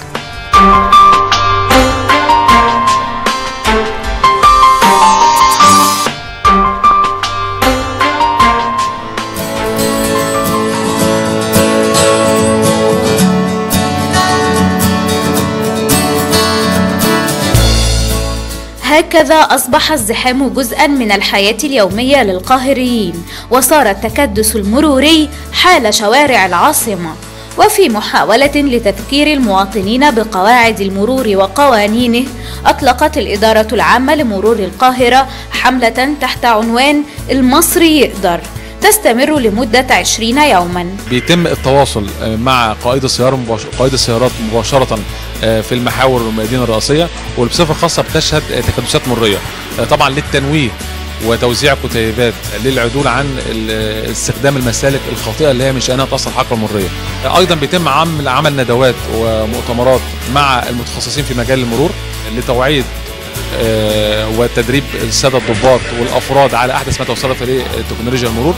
آه، بالإضافة أيضا إن يبقى في عقد آه، تنسيق مع نقابة السائقين للتوعية بالنسبة للمخالفات اللي بيرتكبها سائق الميكروباص بصفة خاصة. طبعا في أخطاء فنية ومن خلال أيضا التوعية بيتم على التوازي من خلال التوعية آه، تم رصد حوالي 20 بؤرة فيها مخالفة فنية بالنسبة للطرق وبالنسبة للميادين. أيضا هيتم معالجتهم بإذن الله. محور الكورنيش رمسيس الكورنيش مطلع اكتوبر من الشهيد اكتوبر جميعه منزل العروبه دوران العروبه والثوره اتجاه المنطقة دي وفي داخل غرفة عمليات مرور القاهرة يتابع المسؤولون حركة السير في الشوارع الرئيسية. رصدنا حوالي مليون و600 ألف مخالفة لمدة سنة وأغلب هذه المخالفات بتأثر على الحركة المرورية ما بين الانتظار الخاطئ ما بين السير عكس الاتجاه ما بين آه، مخالفة الإشارة الضوئية من مخالفات السرعة اللي حتى الآن سببت حوالي آه، 6000 قتيل آه، على مدار السنة. بالإضافة لحوالي 30 ألف آه، مصاب وإصابات بتؤدي إلى الإعاقة. أبدى المواطنون ترحيبا بحملة المصري يقدر. الساعة 12 بتبقى الدنيا زحمة. فإحنا نتمنى الدنيا تمشي يعني والناس تلتزم بال... بالتعليمات دي والدنيا تمشي. الارشادات برضك توعيه كويسة للشعب المصري والشعب المصري بتاعنا بيتقبل بسرعة. ويا رب يستجيب. أنا واللي زيي ياخدوا بالهم من الطريق ويمشوا صح؟ يا ريت. بس المفروض أنا كمواطن أو كل المواطنين يسلكوا بنفس السلوك زي ما مكتوب في التوعية اللي بيوزعوها المرور سلوك يعكس ثقافة الوطن. المزيد من السلوكيات الخاطئة يرصدها المواطنون يوميا في الشوارع. المشي عكس الاتجاه ال- الوقوف الممنوع الوقوف صف تاني. كل الحاجات دي بتسبب مشاكل لينا كلنا يعني وتعطلنا عن مصالحنا يعني. والانتظارات بتبقى كتير في الشوارع ما ما فيش انتظام بالمرور والكلام دوت. حضرتك خالص. التوك توك over الميكروباصات اللي بيخشوا في شوارع مش من حقها تمشي فيها. التوك توك لو طال يطلع على الرصيف بيطلعوا ركنت لغاية ما نزلت الأولاد ورجعت لقيت العربية قدامها عربية تاني قفلاني خالص مش عارف أطلع منها خالص. قعدت في حدود ساعة لغاية ما صاحب العربية جه وخد العربية ومشي. ودلوقتي الموبايلات الأول كان في تنفيذ قرار للي هو بيتكلم في الموبايل وهو سايق العربية فبياخد مخالفة. دلوقتي بقى كله عادي وبيحصل حوادث كتير قوي بسبب الموضوع ده. قد لا تكفي التوعية وحدها لحل أزمة المرور ولكن لعلها تذكر بعض المخالفين بأن الطريق ملك للجميع. فسنت شحاتة ممكن. أهلا وسهلا بحضراتكم مرة أخرى. هتتحل إن شاء الله. برحب بضيفي العزين السيد اللواء حسن البرديسي مدير مرور القاهرة. أهلا وسهلا. أهلا وسهلا. السيد اللواء مدحت قريته مساعد وزير الداخلية مدير الإدارة العامة للمرور. أهلا وسهلا. أهلا وسهلا. منورنا. هتسمحوا لي بس قبل ما أدخل لحوارنا عايز أقول للسادة المشاهدين لأن ده حق. أيضا في قرار مؤسسة ستاندرد أند بورز قالت إن جاء القرار بعد أن اعتبرت مؤسسة التصنيف الائتماني أن السلطات المصرية وفرت ما يكفي من النقد الأجنبي لتلبية الاحتياجات التمويلية للميزانية والمدفوعات الخارجية في الأجل القصير وده دور البنك المركزي. وتحية للسيد هشام رامز لأن ده حقه. لازم نقول إن ده كان ليه أثر شديد في رفع التصنيف الائتماني لمصر. أما الخبر الثاني المفرح أن إيطاليا اليوم اتخذت قرار برفع الحظر عن مواطنيها للسفر لمصر. وده خبر كويس جدا. إحنا كان عندنا سياحة إيطالية جيدة إن ده يحصل النهارده يوم الجمعة أول جمعة بعد الحظر. ده معناه إن إحنا ماشيين كويس. وأخيرا تم ضبط كمية من الترامادول مهربة للسيد حازم أبو إسماعيل في محبسه داخل الطعام. وعندما سئل قال أنا جايبها علشان عندي آلام في رجلي. فعلا الترامادول مسكن عالي يمكن أن يستخدم للآلام الكبيرة بس أنا بستغرب هو ليه جايبه من بره. ما هو لو طلبه من المستشفى لو الدكتور كشف عليه وطلب علاج هياخده وده حقه. فالتهريب دي طريقة تثير الشكوك. يا رب ما يكونش واقع في عالم الترامادول لأنه عالم مفزع جدا. سيد اللواء مدحت قريتم. إحنا ليه كده؟ يعني ليه وعينا وإحنا بنتكلم في أزمة المرور وكأن هناك معضلة؟ هي الأزمة فين؟ الأزمة في القوانين؟ الأزمة في الإدارة؟ الأزمة في الشعب؟ فين بقى في الثلاثه الثلاثة الثلاثه الثلاثة طيب كويس. ولذلك لو حضرتك اتفضلت إن إحنا لو اتكلمنا في القوانين الأول قانون المرور الجديد اللي اتعمل سنه 2008 في بعض العوار كثير جدا وبالتالي السيد الوزير محمد إبراهيم وجه إن إحنا نعمل لجنة مكبرة.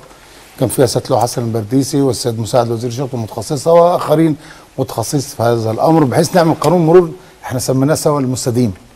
مش كل حبة هنعمل قانون مرور جديد والناس تقول كل حبة تقول قانون مرور جديد. وابتدينا نبص القوانين العالم كلها ماشية إزاي؟ وإيه الأخطاء اللي كانت في القانون ده؟ بحيث إحنا نعدله. بالفعل اتعمل وحاليا بيدرس في قطاع الشؤون القانونية. ثم إن شاء الله انتهاء خريطه الطريق يكون في مجلس الشعب يتم مناقشته. قانون. قانون قانون. يعني ملامح بسيطة كده عنه. يا ريت. إن حضرتك تيجي مثلا إحنا بنقول قسمنا المخالفات إلى أربع انواع مخالفات. تنتهي في ال- ال- ال- الباب الرابع العقوبة الجسيمة. نمرة اتنين طب ما في ناس كتير جدا قادرة إنها تدفع الغرامات دي. فقلنا لا نعمل نظام النقاط حلو. بحيث يكون الرخصة لها إحنا اقترحنا يعني 30 نقطة. لأن طبعا سيادتك تعمل من الدول الاوروبيه 12 أنا الدول العربيه 24 إحنا الإمارات خلينا 12. 30 لا 24 24 أيوة. إمارات؟ آه. فإحنا قلنا خليها 30 عشان كبداية لكن ممكن كل ثلاث سنين إن إحنا نستنقص نقلل من, من, من هذه النقاط. بس نبتدي البدايه الصح. طب يا ريت تشرح للسادة المشاهدين يعني إيه نقاط؟ نقاط سيادتك ارتكبت مخالفة مرورية حسب الأبواب اللي إحنا مفصلينها إحنا هنقول نقطتين ثلاث نقط أربع نقط لغاية ما نوصل لست نقاط في الباب الأخير اللي هي العقوبة الجسيمة. في حاجات ليها عكس الاتجاه والسير بسرعة أكتر من 160 160 كيلو وبعض الأمور يعني. حضرتك ارتكبت المخالفة. عليك عقوبة جنائية والعقوبه المالية؟ دي بتتاخد لوحدها. والعقوبة الإدارية سواء إيقاف الرخصة أو خلافه دي لوحدها ولكن تتم خصم نقاط من حضرتك. خلال السنة حضرتك أو خلال المدة كلها اللي معاك. خلصت 30 نقطه هيتم إلغاء الرخصه ويتم إيقافها وطلبنا تعديل تشريعي في القانون. إن الذي يقود بدون رخصة قيادة تكون عقوبته الحبس وجوبي وليس اختياري. وجوبي. وجوبي وليس اختياري. هتتسحب منه الرخصة لمدة زمنية سنة اتنين. لمدة لمدة عام. ثم إحنا طالبين برضه في القانون ان إحنا نديله دورة تأهيلية أيوة. في مدرسة مرور. بس مدارس مرور على المستوى العالي فيها وعايز ده دورة تأهيلية في المرور وفي الأخلاق كمان. يعني, يعني لازم هي- يبقى في حد بيعلمه. هي أيوه هي بتبقى في آداب وقواعد المرور أيوة. أيوة. بالظبط فن بالكامل وتبقى المرور. على القيادة. ثم يبتدي ان إحنا يبتدي ياخد رخصته تاني وياخد نقاطه ثاني ده اعتقد هيحد لحد كبير للناس تعمل مخالفات. أنا يعني حاجة بسيطة المفروض ما أقولهاش على الهواء لكن لازم أقولها لحضرتك. إحنا باعتبارنا الإدارة العامة للمرور المركزي يمكن مسؤولين عن تطوير حركة السير في إدارات المرور كلها وتطوير التراخيص كلها و آه، آه، على مستوى إدارات المرور كلها. نعم. وبنتابع الحوادث المرورية وبنكلم إدارات المرور يا ترى آه، الحوادث دي إزاي عندك ليه خلاف فكان زميلنا سيد مدير البحر الأحمر حصل عنده كام حادثة زيادة كلمته قلت له الحوادث إيه السرعة فين؟ فين؟ الرادارات اللي عندك لأن دي منطقه سياحيه ولابد يكون في أحكام سيطرة لأن دي سمعتنا كلنا. فقال لي حضرتك من ضمن العوارض قانون المرور إن أحد الأفراد أو أحد المواطنين قيادة المركبات اتمسك في ثلاث رادارات خلال ساعة ورا بعض على طريق طول البحر الأحمر. كل مرة يروح دافع 150 جنيه وشكرا. لكن ده لو عرف إن دي ست نقط ثم ست نقط ثم ست نقط يعرف إن خلاص قرب يخلص نص نقاطه أعتقد مش هيعملها. طبعا. دي حاجة؟ ده واحد. ده الحاجة الثانية لو سيبنا قانون المرور واتكلمنا على السلوكيات عندنا سلوكيات كثيرا جدا مش مظبوطة ولذلك المبادرة اللي عملها ست حسن البرديس وإحنا دعمناه بالمبادرة أخرى ودخلناها مع بعض هي المصري يقدر وقلنا المرور مسؤولية الجميع. يعني آه، إدارة المرور ووزارة الداخلية مش هي المعنية لوحدها فقط بالمرور لا ده إحنا معانا شركاء كثيرين قائد المركبة ده شريك المحليات والمحافظات شريك كبير جدا. هيئة النقل العام شريك أكبر لأن كل دول لازم يكونوا في منظومة واحدة وتحالف قوي جدا عشان نطلع من النفق الزحام اللي إحنا وصلنا له والكلام ده. وأنا طبعا هسيب بعد كده كلام لحسن بيه يقول لسيادتك كميات الناس اللي واقفة صف تاني وتالت. نعم. طيب إحنا هنفضل نشيل فيهم ولا برضه نشيل ونتخذ إجراءات حازمة؟ وفي الوقت نفسه لابد إن المحافظات والمحليات تدبر أماكن للانتظار عشان برضه بالظبط أنا مش يعني عايز أنزل آه. أشتري حاجة ومفيش مكان أركن فيه هروح أركن فين؟ تمام. مش بس كده إزاي إحنا هنسمح بمولات ضخمة بتنعمل دون يكون فيها أماكن انتظار؟ أو أماكن انتظار بأسعار معقولة ما تكونش بأسعار عالية. إزاي نفتح الكافيهات اللي كل المحلات أو اللي الدور الأرضي كله في البيوت خلاص اتشال وبقى كله كافيهات و و و ومحلات تجاريه فيش باركن. موضوع مفيش باركن له. برضه عشان نوضح حتى في العمارات أنتوا بيتم الترخيص والسماح بعمل جراج لكن هذا الجراج مش ملزم لصاحب العمارة إن السكان اللي يركنوا فيه. فبيزايد ويطلب فلوس كتير وبيدي الناس بره وأصحاب العمارة بيركنوا بره وبالتالي بقى دور ده في بقى أكتر من هذا إن في بعض بقى أصحاب العمارات قفلوا الجراشات دي وحولوها لحاجه مخازن وحاجات أخرى. صحيح. كل ده اتخاذ محليات ومحافظات لازم تجي له لو قلنا بقى هيئة النقل العام أو وزارة النقل في منظومة الأخرى إن أنا لازم أدبر وسيلة محترمة للمواطن يركبها علشان أجبره اراديا. إن هو يتنازل عن سيارته الملاكي لو قلنا مثلا نظام الأتوبيسات لو جبنا أتوبيسات كويسة وأعتقد إن السيد محافظ القاهرة في سبيل شراء 200 أتوبيس نعم أنا آه، عرفت إن القوات آه. المسلحة كمان آه. هتنزل عدد كبير من الأتوبيسات لكن أنا عايز الأتوبيس ده يبقى مميز جدا عشان أنا صاحب العربية الملاكي يتنازل عن العربية الملاكي بتاعته ويبتدي يركبه لو تصورت حضرتك إن في 100 واحد راكبين 100 عربية وركبناهم أتوبيسين شوف حجم الكبير اللي إحنا طبعا شلناه في هذا الأمر وأنا برضو بحفز أمر الأتوبيسات ديت ودي وجهة نظري أنا من كتر دراسات سيادتك تعمل خدت دورات ودراسات كثيرة يمكن بره في هذا الأمر إن إحنا نعتمد على خطوط السكة الحديديه الترام والمترو ومترو الأنفاق ده يشيل لنا كميات ضخمة جدا من الناس تخليهم نجبرهم إنهم يتنازلوا عن سياراتهم بحيث ان هو يركب هذا المنظومة. اذا إحنا بنتكلم المسألة مش مرور لوحده لكن ده ما يتنصلش من دورنا. إحنا لنا دور الأساسي والرئيسي. ضبط إيقاع الحركة المرورية داخل المدن أو على الطرق كلها. لابد إن يكون في تدخل حازم انفورسمنت قوي موجود جدا نشيل المخالفات نظبط المخالفات الصارخة يعني الحاجات التانية إحنا ممكن هي عشان نظبط المخالفات آه. ده منطقة تانية هنروح لها دلوقتي تانية. لأن أنا كمان لو عرفت إن أنا مراقب وهدفع ثمن تمام هاخد بالي قوي تمام فكرة مش الواسطة آه. بس وفكرة كمان إن أنا عارف إن في هنا رادار ده إحنا الناس بتبقى عارفة الرادار وبيقلب له وبيديله كلاكسي يقول له خد بالك بعدها بشوية رادار. في حاجات حديثة آه، بتتجاوز هو. ده بقى التطوير اللي إحنا كإدارة العامه للمرور المركزي بننشره دلوقتي. متناسقين جدا مع إدارات المرور المختلفة. وأهم حاجة طبعا عندنا حاليا القاهرة والجيزة إن إحنا نطور الأسلوب العلمي لضبط المخالفات. طيب أنا عايز أفهم الأسلوب العلمي بس لما أحط إيدي مع حسن بيه عن القاهرة. القاهرة أم المدائن أم المشاكل. والقمر الغريب والزحمة المريبة. وأم المشاكل. وأم المشاكل. آه. فين مشكلة القاهرة بالظبط مشكلتها تراثية نعم. قديمة. يعني هو طبعا إحنا دايما بنقول الكلام ده إن المشكلة يعني تركت لتستفحل ونوصل للنقطة دي وال- وال- والنقطة الحمراء دي بالشكل ده. أسباب كتير جدا كلها بتتراكم بقالها سنين والجيل اللي موجود ده إذا كان بتوع المرور أو الناس المواطنين قاعدين بيدفعوا الثمن ال- المشكلة استحكمت لأن ما حدش تدخل وما حدش حط المرور على أجندته. أكتر من 30 سنة المرور مهمش. إحنا كلنا رغم كل التع... يعني بنتعامل مع المرور رغم أهمية المرور الكبيرة والخطيرة إلا إن التعامل مع المرور تعامل هامشي. يعني يمكن كان في مقابلة مع يعني قبل الانتخابات اللي فاتت كنت أنا مرة طلعت في برنامج وقلت للناس وللأحزاب وللناس كلها إن المرور ده أكبر يعني بند انتخابي المفروض لأي حزب ولاي حد يعني عايز يرشح نفسه المفروض إن المرور ده على اجنده أي حد. نعم. الحقيقة المرور ما كانش محطوط على الأجندة. وهضرب مثال بسيط برضو إن القاهرة مدينة فيها بتتعامل مع 15 مليون إنسان.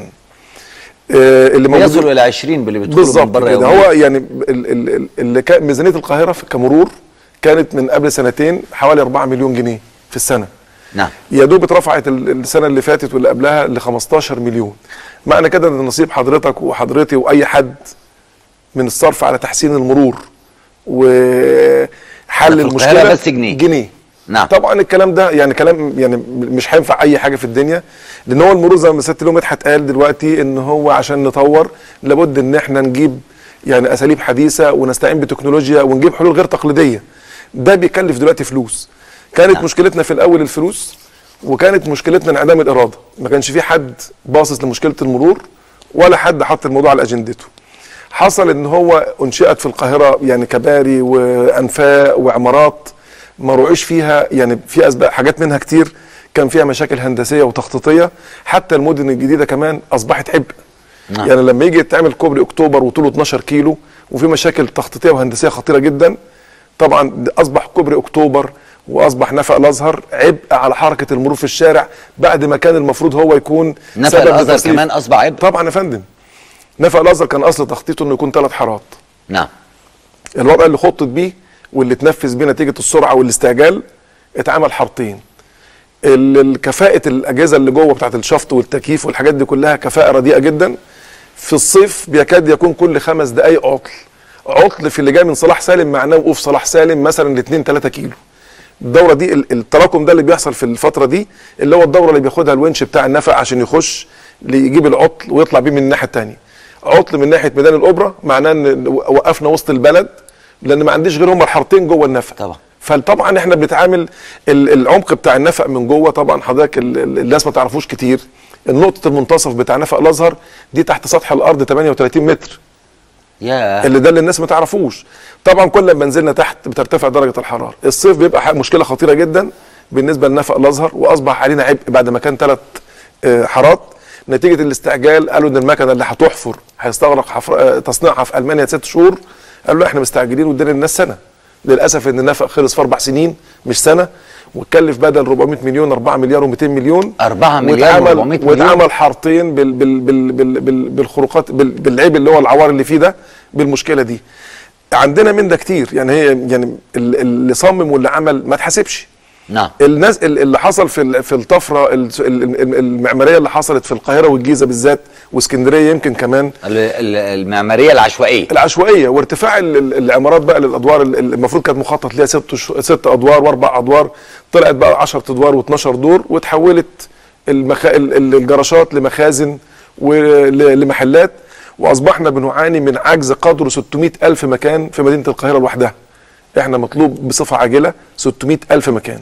اتحولت بالتالي جراش شوارعنا لجراشات وده أثر على شرايين الشرايين بتاعة المرور. نعم. لو إحنا افترضنا إن كل الشوارع الشوارع في القاهرة شوارع مخططة ونموذجية وثلاث حارات وجه مواطن ركن يعني ركنة شرعية في الشارع وقف خد الحارة الأولى بس وقف انت- انتظار موازي للرصيف أفقد الطريق 33% من طبعا. كفاءته وسيولته تحط كمان بقى عربية انتظار خاطئ صف تاني فقدنا 66% من سيولة الطريق. ده لو إحنا بنتكلم على طريق مثالي ثلاث حارات. لكن مش كل شوارعنا ثلاث حارات كلها معظمها حارتين ومعظمها طبعا فيها مشاكل كتير جدا في أساليب الرصف وال ومشي الناس ومشي الناس. واستخدام الرصيف. سبب خطير جدا من ضمن الأسباب اختلاط حركة المشاة بحركة السيارات في الشارع. إن المصري عنده عزوف طبيعي إن هو يستخدم الرصيف عنده عزوف إن هو يستخدم نفق المشاة لدرجة إن في في ميدان الأوبرا في أنفاق فيها سلالم كهرباء والناس ما بتنزلهاش. عنده عزوف عن استخدام كوبري المشاة في معظم الأنحاء فكل منطقة فيها كوبري مشاة أو نفق مشاة أو أماكن فيها تردد لل- للمواطنين بصورة اللي هو المشي على رجله بصورة كبيرة بنعاني من الأزمة لأن الأنفاق وحشة يعني, يعني- في, في باريس أو لندن بننزل أنفاق تلاقي آه، شك شيك. فنية، بتبقى آه قطعة فن يعني، بالظبط. ومكان للتليفون وقعده وحد بيبيع عصير وحد بيبيع فاكهة وحياة داخل النفق اذا إحنا لازم نغير الفكر ولازم نعرف إن ده بيخسرنا كتير وأي مصاريف هتتصرف على الحاجات دي إن أنا أعمل نفق كويس إن أنا أعمل كوبري مشاة زي اللي معمول في اسكندرية كان مدحت كان كان مدير مرور اسكندرية. نعم. الكوبري اللي موجود في اسكندرية هناك اللي هو بالسلم الكهرباء. هو ده النموذج اللي هو اللي المفروض المواطن هيمشي عليه. إحنا عايزين كباري أكتر ولا أنفاق أكتر؟ هو طبعا هو ما بيفرقش حسب المنطقة اللي موجود فيها طالما في سلم كهرباء وطالما معمول في مكان مميز هو طبعا إحنا يعني ال- السلم العادي مرفوض من الناس لدرجة إن هم لما أجي مثلا أتكلم عن طلبة جامعة عين شمس في, كلية التجارة ومباني الجامعة في الناحية الثانية بيفصل بينهم الشارع وفي سور حديد وفي كوبري مشاه في المنطقة. حتى طلبة الجامعة رافضين إن هم يستخدموا من فوق. بالظبط إحنا جبنا قبل العام الدراسي ده مع بالتنسيق مع المحافظة والحي عملنا السور اللي كان متكسر بتاع اللي هو الفاصل اللي في نص الطريق. تاني يوم الطلبة نفسهم هم اللي وقعوه. يعني هم اللي كسروا السور عشان يس- يستخدموا الشارع يعدوا من طريق. أنا أقصد أقول إن إحنا يعني في الخلطة الكبيرة دي يعني لما يكون عندنا عجز في أماكن الانتظار لما يكون عندنا عشوائية في التخطيط ما بصيناش ابدا لقدام لما أجي أعمل مدينة كبيرة إزاي أربطها بالقاهرة؟ زي ما حصل في مدينة أكتوبر زي ما حصل في في التجمعات اللي حوالين القاهرة في الرحاب وفي الشروق وفي بدر وفي كل المدن. الحقيقة كان لازم يتوجد أساليب للربط بين المدن بما لا يؤثر على حركة المرور. إحنا يعني في, الت... في ال... اكتشفنا دلوقتي إن إحنا في ال... في التجمعات رغم رقي المكان إن هو برضو مش معمول حساب المرور النموذجي لبكرة. يعني نعم. بعد 3 4 5 سنين ما بنعرفش نبص على بنعاني من أزمة. أبداً. أعتقد أكتوبر دلوقتي فيها أزمة كبيرة جدا برضو نتيجة التجا... التكدس والزحمة. كان يجب إن إحنا وإحنا بنتعامل في الصحراء وفي الفراغات دي نعمل حساب ال- ال- التخطيط ده. إحنا بنفتقد جهاز مركزي سيادي يتابع ويشرف على حركة المرور والنقل في مصر. أستاذ خير الجهاز ده موجود في فرنسا في باريس من سنة 1800 إحنا ينقصنا هذا. الجهاز ده يكون هو يعني أساس التخطيط للمرور والنقل والإشراف على المرور والنقل بتخطيط مركزي سيادي بحيث إن إحنا ما نسيبش لكل واحد الموضوع يبقى سداح مداح وكل واحد يعمل اللي على مزاجه ومحدش بيحاسبه. طيب هي بمناسبة إن ما حدش بيحاسبه هطلع فاصل وارجع عايز افهم هي المشكلة كلها إن إحنا عملنا كل حاجة بقى عندنا أنفاق وبقى عندنا كباري والمشكلة في الناس ولا أيضا في جزء رئيسي في تخطيط المرور في عسكري المرور اللي واقف في الشارع في غياب إشارات المرور في غياب الكاميرات. ربما اسئلتي دي تودينا للحلول العلمية اللي إحنا رايحين ليها مع ضيفي العزين في النهاية إحنا عايزين نحل. بس أنت بترصد الواقع ما بنشوفش بنسافر بلاد ما بشوفش عسكري مرور. بتحصل حادثة في ثانية بلاقي موتوسيكل ما أعرفش جه منين. ما بشوفش إشارة بايظة. ما ب... بنلاقي حواري وطرق للمشي ودورانات. النظام اللي إحنا مش عارفين نعمله في مصر. أيضا إحنا كمان محتاجين من يدير الأزمة أن يكون لديه حلول. إيه هي الحلول؟ بعد الفاصل إن شاء الله.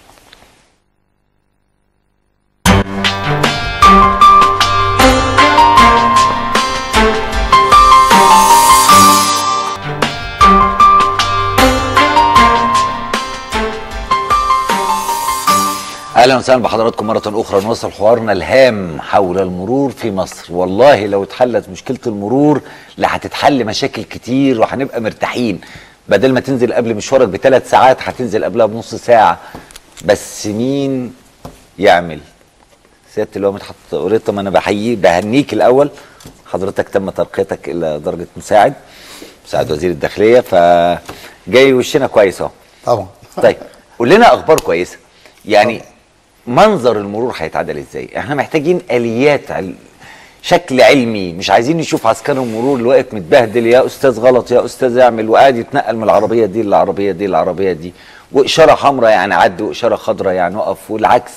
هنعمل إيه؟ إيه إيه الأسلوب العلمي اللي هنحل بيه الأزمة دي؟ تمام. هو طبعا الحمد لله إحنا عرضنا على السيد وزير الداخلية تطوير منظومة المرور علميا واليا بحيث يبقى فرد المرور وظابط المرور لهم عمل آخر غير إن هو واقف ينظم الإشارة ويفتح الإشارة ويعمل الكلام ده خالص. الحاجة دي معروفة عالميا بحاجة اسمها ال ITS أو اختصار intelligent traffic system اللي هو إدارة حركة المرور الذكية. لها ثلاث شق- شقوق، الشق الأول إنه هو هناك برنامج مروري software قوي جدا يدير حركة المرور مش الفرد اللي بيفتح الإشارة ويقفل الإشارة نعم. لا البرنامج اللي هيديره طب إزاي يفتح الإشارة ويقفل الإشارة إحنا عندنا آه، نوعين من الكاميرات الكاميرا اللي هي هتشوف ال flow بتاع ال traffic تدفق حركه المرور اللي لازم تبقى موجودة أيضا عشان السيد الضابط اللي في غرفة العمليات يقدر يتابع الحركة المرورية لو في أي أزمة مرورية أو خلافه ينادي بأجهزة اللاسلكية. الكاميرات الثانية اللي بيطلق عليها كاميرات ال enforcement أو إنفاذ القانون الكاميرات ديت تستطيع إن هي تلقط المخالفة المرورية إذا كانت حسب ما إحنا برمجناها إذا كسر الإشارة إذا مسك يسار الطريق وده حلول سيادتك اللي إحنا بنعمله حاليا في الدائري إن شاء الله. في الدائري آه طبعا. يعني إذا مسك يسار الطريق لو عربية نقل؟ لا ده أساسي معمول له software عشان كده. هيحصل له إيه لو عربية نقل مشت يسار وهي طول الوقت ماشية يسار الطريق؟ تمام هو آه، إحنا طبعا عاملين ال ال إحنا خلصنا كراسة المواصفات وخلصنا Google Earth بالكامل واماكن هنحط الجانتري فين والكاميرات فين بحيث إن كل 5 كيلو في كاميرات enforcement موجودة. أي عربية نقل هتلتزم يسار الطريق؟ هتلقط لها صورة.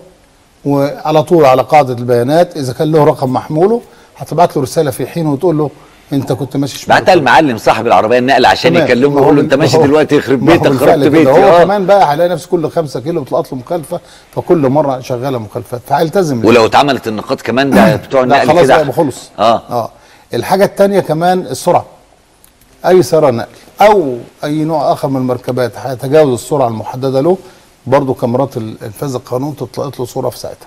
ده العلم الموجود. نزيد بقى عليه في لما يبقى في اداره مرور زي اداره مرور القاهرة اداره كبيرة عايزين ندير هذه المنظومة بقى. آه طب أنا أنا على الدائري والتزمت. تمام. ولأن في كاميرات. هنزل هعمل إيه لما أنزل الجيزة والقاهرة؟ نفس الكلام برضه سيادة اللواء حسن طبعا هيشرح البرنامج عنده. إحنا منسقين تماما. زي ما بقول لك إحنا في منظومة واحدة.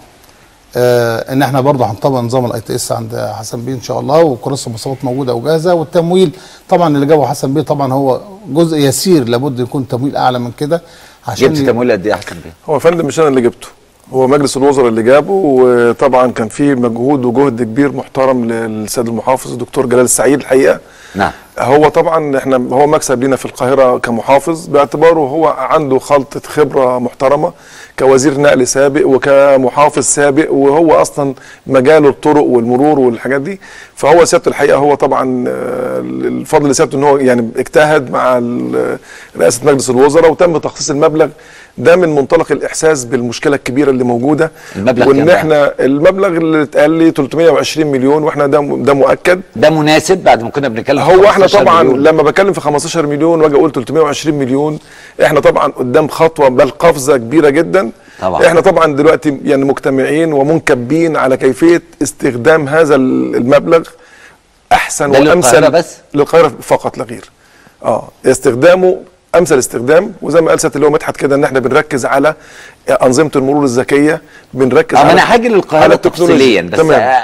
أقفل الجزئية دي مع سيادة اللي هو مدحت هو إحنا هنحل مشاكل القاهرة والدائري والمحور بس لا ولا كله- طرق مصر كلها كل طرق عشان الحوادث اللي كل بتحصل طرق في مصر الزراعي طبعا وأنت سيادتك نطينا نقطه ثانية إحنا زي ما قلت لحضرتك مسؤولين عن كل الطرق بقى إحنا آه. مسؤولين فعليا عن جميع الطرق دي كلها كل هذا الكلام يا فندم هيبقى موجود على الطرق ومع الجيزة ومع جميع إدارات المرور. إحنا في التطوير هيبقى ماشي جميع إدارات المرور بالكامل. يعني أقول لسيادتك حاجة إحنا ما عندناش حاجة كانت مظبوطة الأول تقول نسبة الحوادث عندنا إيه وسببها إيه. إحنا تم إن شاء الله خلال ثلاث أسابيع إحنا هندرب الضباط من بكرة. إحنا كنا منسقين من أكتر من سنة مع التوأمة اللي هي ألمانيا والنمسا مع آه، مصر مع عن طريق وزارة التعاون الدولي. إن هم نزلوا جابوا خبراء ودرسوا الطرق وابتدوا جابوا جهاز تابلت. أنا للأسف بس ما جبتوش معايا. آه، جهاز التابلت ده سيد الضابط اللي في طريق هيبقى موجود عليه. مجرد الحادث ما يحصل هو هينتقل بسرعة مع جهاز التابلت. أول حاجة عندنا إيه فيها؟ الآثار المادية الموجودة. هيروح مصور صورة للحادثة أو صورتين زي ما يطرق لسيادته ويبتدي يرفع الحادث. يبتدي بعد كده يتعامل مع الحادث سريعا. أول حاجة هتطلع له قايمة كده. أول حاجة هتحدد له الإحداثات بتاعته ال X وال Y بتاعه هو فين بالظبط. نعم. ليه؟ عشان انت ممكن تقول أنا في الكيلو 20 طب ما الكيلو 20 ده يبتدي من من 20 و100 و20 و200 و20 300 صحيح. لازم نحدد بالظبط هو فين عشان بعد كده لما يتكرر الحادث نعرف في black point هنا دي نقطة سوداء لابد أن تدرس واسبابها إزاي بقى عن طريق هذا ال- ال- البرنامج اللي موجود جوه التابلت ده؟ ده حاجة دي جت فعلا ومن بكرة هندرب الظباط عليها كنا بس بنعمل ال software بتاعه. يبتدي بقى يعلم عندك آه، مصابين؟ يعلم مصابين عندك وفيات؟ عندك. عندي وفيات. محتاج تختار مين؟ هختار الإسعاف؟ أروح هو بس بيعلم يختار الإسعاف يختار قائد الطريق يخطر النجدة يخطر الكلام ده. مجرد إنه يعمل كده بيتم الإخطار على طول رسالة SMS موجودة في الإسعاف اللي هتستلم منها الجهاز يمكن الأسبوع الجاي. على طول يقول له مكان الحادث فين؟ وشارع إيه؟ ان بس الجهاز ده مش بس كده ده في خرائط كاملة maps كاملة عن آه، جمهورية مصر العربية. فيبتدي بتاع الإسعاف يتحرك بسرعة قياده الطريق يتحرك بسرعة. بعد كده الظابط بعد ما يخلص الحادث وينتهي منه ويترفع المصابين لا قدر الله أو متوفيين يبتدي ينزل له شوية قوايم كده يبتدي يشتغل حالة الطريق اولا حالة الطريق شكله إيه يقول له جاف ولا ك... يعني هو مجرد هينزل له تايتل وهو بس يعلم يا ترى الدنيا كانت نور الدنيا كانت ضلمة يا ترى الطريق صح وغلط بس. صح وغلط بس يعلم بس آه. كده وكثير من الأسئلة ديت وفي الآخر كل ده بيروح على مركز بحوث حادث المرور اللي موجود في الإدارة العامه مرور تبتدي هذه الحوادث تتجمع فيه. لما تج- تتجمع ال data دي كلها تعمل لها collection يبتدي بقى يشوف هل في سوداء هنا ولا لا. طب اسبابها إيه؟ يبتدي يطلع الحو يحلل البرنامج هذا الكلام ويبتدي يقول يا ترى كان في منحنى حد هنا عايز يتعالج؟ يا ترى في فتحة غير قانونية؟ فبالتالي حصل حادث ما كل ده مكتوب في البرنامج. نعم. وبالتالي نقدر نوصل سريعا لحلول الحوادث. ده من الحاجات الحلول الجديدة العلمية الجديدة اللي, اللي موجودة هنشتغل فيها. بإذن إن شاء الله. الله. طيب. اتفضل. أنا آسف. آه. سياده اللواء حسن. القاهرة كنموذج تمام. آه آه، كنتوا بتحكوا لي عن تجربة اتعملت في آه النزهة مرور النزهة. أيوة. وإن التجربة دي ممكن لما تتعمم هتفرق مع الناس قوي. عملتوا إيه في مرور النزهة؟ مرور النزهة زي ما قال سيادة اللي هو مدحت إن إحنا دخلنا في نظام حديث بحيث إن هو أنا مش عايز المواطن يروح كل يوم الوحدة عشان يجدد عربيته. المواطن هيقدر يتعامل من خارج الوحدة ورخصته توصل له. كويس إزاي؟ وده بيتعمل ده بيتنفذ فعلا في اللي هو نظام الدفع من بعد والكلام ده كلها. كل ال- الأنظمة دي بتتعمل من خلال منظومة تكنولوجية بيتعامل المواطن مع النت ومع الجهاز يعني أنا أدفع بال بالفيزا كارت بالفيزا؟ بالظبط كده. بحيث إن أنا ما أروحش على الوحدة. أدفع مخالفاتي وعنده كل البيانات ويبعت لي الرخصة بالبريد لحد البيت. بالظبط. واخد مصاريف الرخصة. دخلت فلوس أكتر وقللت الاحتكاك مع الموظفين. طبعا ده هيقلل رحله يعني هيقلل عدد الرحلات في الشارع اللي رايحة المرور كل يوم بتجدد طبعا. هيوفر في البنزين يعني إحنا بن- بنتكلم في منظومة هتعملوا إيه في أعداد الموظفين لما تكتمل هم أصلا يعني الموظفين اللي موجودين دلوقتي أصلا عددهم قليل بالنسبة للي حاصل وده اللي عامل اختناقات في كل وحدات المرور.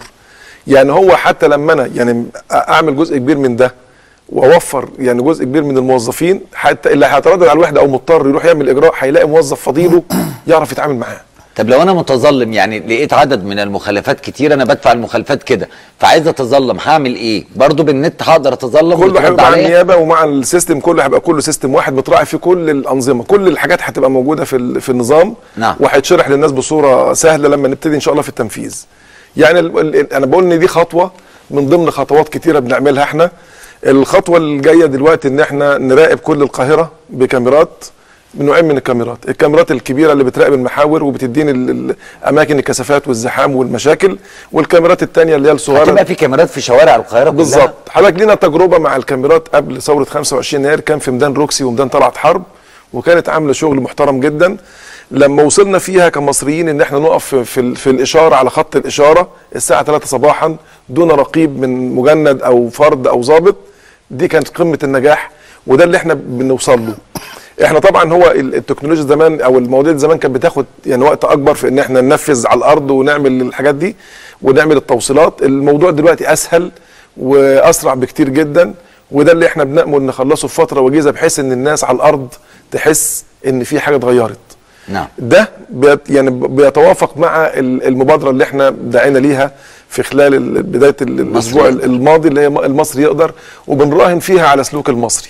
وبنراهن فيها على نفسنا. يعني إحنا بنقول إن إحنا لما ال- السبب المبادرة لما إحنا حللنا عدد المخالفات اللي عملناها السنة اللي فاتت لقينا نفسنا حررنا مليون و600 ألف مخالفة. 97% منها كانت مخالفات مؤثرة على حركة المرور وال- والشخص اللي ارتكبها عملها وكان ممكن ما يعملهاش. فبنتخيل الشارع لو إحنا الواحد نزل الصبح ما عملش عكس اتجاه ما انتظرش خطأ وتعب نفسه إن هو يوجد مكان ينتظر فيه مكان صح ما كسرش إشارة ما جريش بسرعة وعمل حادثة عملت المشكلة. مؤكد إن ده هيقلل كتير ولما أقول إن أنا ظبطت مليون و600 ألف معناه إن في 16 مليون مخالف. نعم. إحنا دايما في في 10% بالظبط. ده اللي حاصل. إحنا طبعا ال ال القصة دي مع التطبيق مع المبادرة لما إحنا لقينا موضوع السلوك هو أبرز يعني العناصر بتاعت الأزمة اللي موجودة في الشارع قلنا إن إحنا لازم ننزل ونقول للناس ونشرح لهم ونفهمهم إن هم يعني كل واحد منهم على قد ما هو بيشتكي. من المرور وبيتضرر منه هو كمان مساهم في الأزمة بس بالسلوك بتاعه والتصرف الخاطئ اللي بيرتكب في الشارع. إحنا بدأنا ال- ال- المبادرة وأنا طبعا شايف ليها رد فعل جامد جدا وشايف فيها فعاليات آه، محترمة بتحصل. لما إحنا بنجيب ناس بتتكلم يعني قسمنا المبادرة نصين نص على الناس ونص علينا. النص على الناس اللي إحنا مت- متواجدين معاهم في الشارع بنشرح لهم المبادرة من خلال كتيبات زي كده بتتعمل لهم. نعم. والضابط في الإشارة أثناء ما الإشارة واقفة بيتكلم مع المواطن وبيشرح له. الحاجات دي وبيسيب له الكتيب بيقراه وبيتصفحه ويشوف المعلومات اللي موجودة فيه. بيجد فيه معلومة كويسة محترمة وبيجد إن ده الكلام ده لمصلحته. على الجانب الآخر إحنا كمان لازم ننزل لبعض التجمعات. يعني عندنا دلوقتي كل يوم إحنا مستهدفين أكتر من 200 مدرسة في القاهرة في خلال ال 20 يوم. بننزل كل يوم ل 10 مدارس.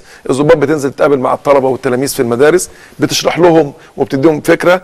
الحقيقة طبعا يعني حسب التقارير اليومية اللي بتتعرض ال- ال- ال- الموضوع جايب نتائج مذهلة.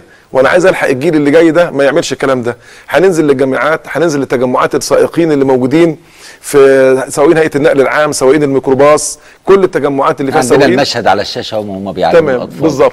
نعم. ال ال ال بالنسبة لنا إحنا كمان إحنا الشرطة لازم تكون نموذج ولازم تكون مبادرة ولازم تكون هي القدوة. آه ما يكونش الكاب محطوط في العربية ده معناه أي بالظبط. فاحنا طبعا. يعني جميع السادة الضباط اللي هم المسؤولين عن عن المركبات الخاصة بوزارة الداخلية اللي موجودين في المنطقة المركزية كلهم بتعمل لهم ورش عمل مع الأفراد والسواقين بتوع الشرطة عشان نقول له إيه اللي لازم يعمله وإزاي يبقى سلوكه في الشارع كويس ويكون قدوة لغيره.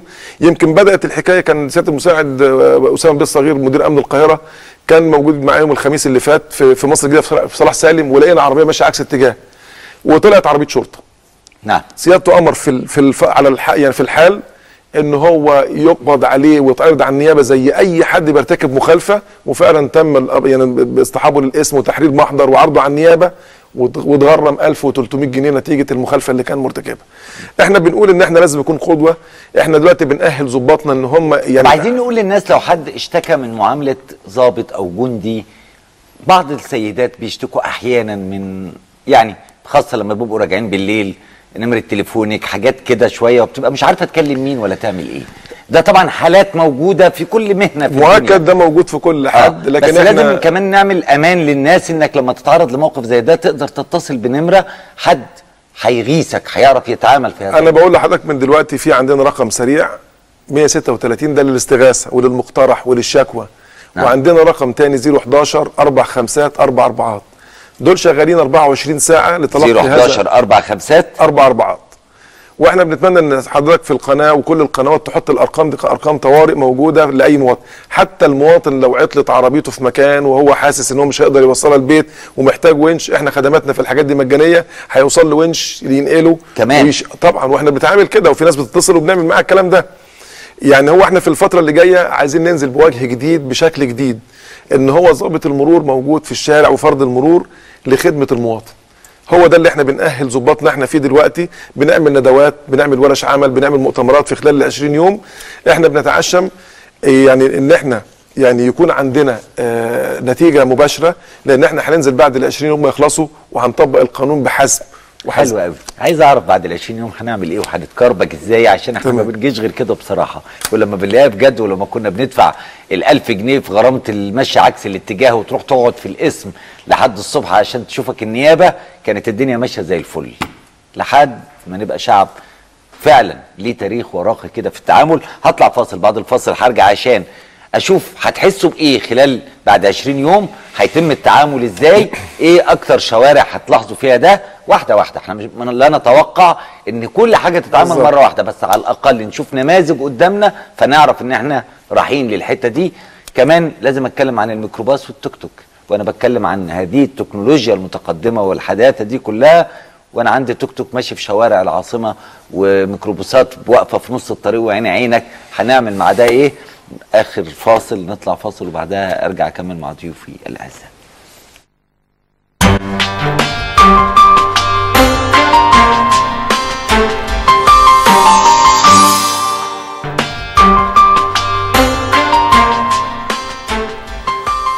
أهلا وسهلا بحضراتكم مرة أخرى. بشائر الأمل تطل في مصر بالمرور. المرور جزء مهم جدا فإذا كان لدينا ميزانية ولدينا تصور علمي ومسؤولون لديهم دراية بالأزمة يبقى في أمل. الناس هتحس إزاي في الفترة الجاية؟ يعني خلال مدة قد إيه هنبتدي نشوف بوادر وهنعمل إيه مع التكاتك والميكروباصات؟ وطبعا سيادتك أنا سريعا كده. أنت عارف سيادتك من كتر اهتمام وزارة الداخلية إن رئيس الجهاز السيد وزير الداخلية نفسه يعقد اجتماع للمرور وقيادات المرور كان من أكثر من 15 يوم. وكان سيد لو حسن موجود وقيادات المرور موجود. أول حاجة سيد وزير ركز عليها تواجد أفراد وضباط المرور بكثافة في الشوارع واستنفار كافة الجهود في الوقت نفسه سيد توافق على المبادره الإعلامية الاثنين ماشيين مع بعض. يعني زي ما قال لو حسن إحنا بعد 20 يوم هننزل أكتر لكن شغالين حاليا نعم. وبنظبط مخالفات وبنظبط كل حاجة. آه، آه، بالنسبة للتكاتك والميكروباصات والحاجات المخالفة دي كلها بيتم الضبط لكن زي ما قال هي مش المشكلة في الضبط المشكلة التعامل معاها إزاي؟ يعني لو الميكروباص انتظم وعرف مكانه إحنا مش هنقدر نستغنى عنه لأن وسائل النقل العامة ضعيفة ومحدودة. بالظبط كده. زي ما قلت لحضرتك في البداية إحنا قلنا لازم النهارده نعمل وسائل نقل محترمة علشان تقدر تشيل كميات الناس ديت لأن في الآخر أنا محتاجه ميكروباص شيل الناس. وفي الوقت نفسه عشان خليه ينتظم لابد أعمل له مواقف وأعمل له أماكن يقدر يقف فيها عشان يقدر يشيل الناس. تمام. هو ده اللي موجود. والناحية الثانية المهمة جدا أنا بشكر سياده الوزير إبراهيم محلب إن هو. ساعدنا في حاجات كتير جدا. هو الراجل ده مادد آه، ايده في يعني كل حاجة آه، ويجب بصراحة بيه يعني بصراحة. من ضمنها الحاجات اللي أنا هتكلم عنها نفسي غير الاستاذ لو حسن اللي عنده إحنا كان عندنا مشكلة كبيرة جدا بتوع الحادثة. خلاص وقعت الحادثة مثلا على الدايره وأي طريق. عشان نشيل ال ال ال العربيات الناتجه عن هذه الحوادث. طب هنشيلها إزاي؟ ما عندناش أي معدات. وتاخد وقت وتعطل الناس أكتر وتسبب في أزمة مرورية كبيرة جدا. ست وافق لنا إن هو آه، هيجيب لنا أربع لوادر وأربع آه، رافعات عملاقة على طول الدايري بالكامل بحيث لما تحصل الله. الحادثه يبقى في لحظة يقدر بدل ما نطلع بنشحت إحنا وناش واللوادر عشان نقدر في الحادثة يبقى في انتقال سريع للظباط فده اللي إحنا نقدر نعمله آه، إن شاء الله الفترة الجاية. ويمكن ال- ال- ظهر الظباط وظهر الأفراد والأمناء من خلال برنامج حضرتك أنا بشكر زملاء الظباط وزملاء الأمناء والأفراد على الجهد اللي بيبذلوه حاليا آه، جهد عالي جدا. ضابط المرور وأمين المرور وفرد المرور بيبذل جهد غير طبيعي في الشارع سواء في انتظام حركة مروريه داخل مدينة القاهرة أو على الطرق عندنا في ضبط. بلاش إحنا عندنا أقوال أمنية السيد الوزير نشرها دلوقتي بالكامل على كافه الطرق السريعة والمحاور بتظبط ضبطيات رغم إنها أقوال أمنية مرور ومباحث وأمن مركزي عليها ضبطيات عالية جدا في السيارات المسروقة مبلغ بسرقتها وفي المخدرات وفي الأسلحة في شغل عالي جدا معمول الأيام دي موجود وفي أجهزة حديثة مع الظباط اللي هو جهاز البي دي إيه. بس مفيش وقت ان إحنا نشرحه. آه. ده موجود مع السادة الظباط دلوقتي كلهم. الجهاز ده بيستعلم عن أي عربية تقول له مسروقة أو مش مسروقة أو رخصتها سليمة أو رخصتها في. ثانية وأنت واقف قدامه في جزء من الثانية يخلص هذا الجزء. ده تطوير كبير إحنا بنعمله. آه. سريعا برضو عشان نترك كلام لحسن بيه في الجزء اللي عنده. إحنا كمان بندور بنطور الترخيص زي ما حسن بيه إحنا عملنا نظام عند سيادته. وسيادته مشكورا سعيده فيه جدا. هو موجزه سريعا برضو إن إحنا أحد الشركات بالتنسيق مع الدولة آه إن هي عن طريق آه آه منافذها نفسها وعن طريق مكنات ال ATM بتاعت البنك الأهلي. مجرد المواطن ما يدخل الرقم القومي بتاع حضرته هيطلع له على طول عربيته تطلع له مباشرة. ده خد جهد مننا كبير جدا سيرفرات عشان ال application ده يطلع مظبوط. يقول له أنت عايز تدفع التأمين ولا تدفع الضرايب أو تدفع الاثنين مع بعض؟ يطلع له قيمة يدخلها.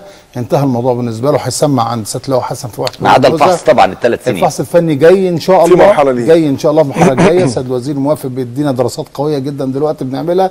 إزاي نعمل محطات فحص فني بيئي آلي هتبقى على أطراف القاهرة إن شاء الله والمحافظات الأخرى بالكامل. يروح يجيب الشهادة يديك الرقم على الجهاز. لا ده إحنا خلينا مش هنخليه يجيب الشهادة ده إحنا كمان عاملين في ال system اللي طارحينه اللي هو computerized موجود. إحنا عندنا data center عالية جدا. مجرد ما إن انها نجحت في الفحص إن ظابط- ظابطنا موجود ومهندسينا موجودين مع الفحص موجودة الآلي، على الجهاز عندك. على طول يبتدي تروح واصلة هناك على طول. ده من ضمن التطوير العالي جدا اللي إحنا ماشيين فيه وبسرعة وبقوة. آه كمان آه رخص العربيات حضرتك عارف إن أي عربية بتنتج في مصر أو بتستورد من الخارج بتجي لنا برضه هو مركزي وإحنا بنبعتها لإدارات المرور. يا جماعة جاي لكم الافراج جمرك ده رخصوه. آه، رخصوا ال 200 عربية مرسيدس. آسف بلاش ماركات يعني أي نوع من الشركات بتنتجه.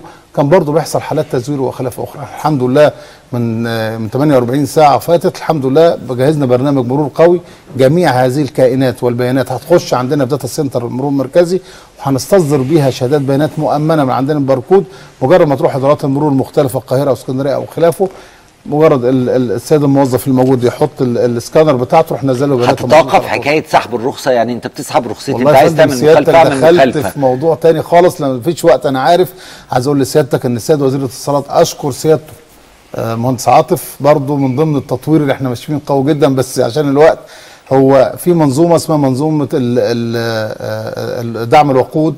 سيادتك عارف إن كل مواطن هياخد كارت ذكي. نعم. إحنا هنستصدره عن طريق مع شركة e-finance تبع وزارة المالية ياخدها المواطن. السيد الوزير الاتصالات مشكورا باتفاق مع السيد وزير المالية والسيد وزير الداخلية. قالوا طب ليه إحنا ما نخلي الكارت ده ما هو يبقى بالرخصة؟ وليه تنسحب؟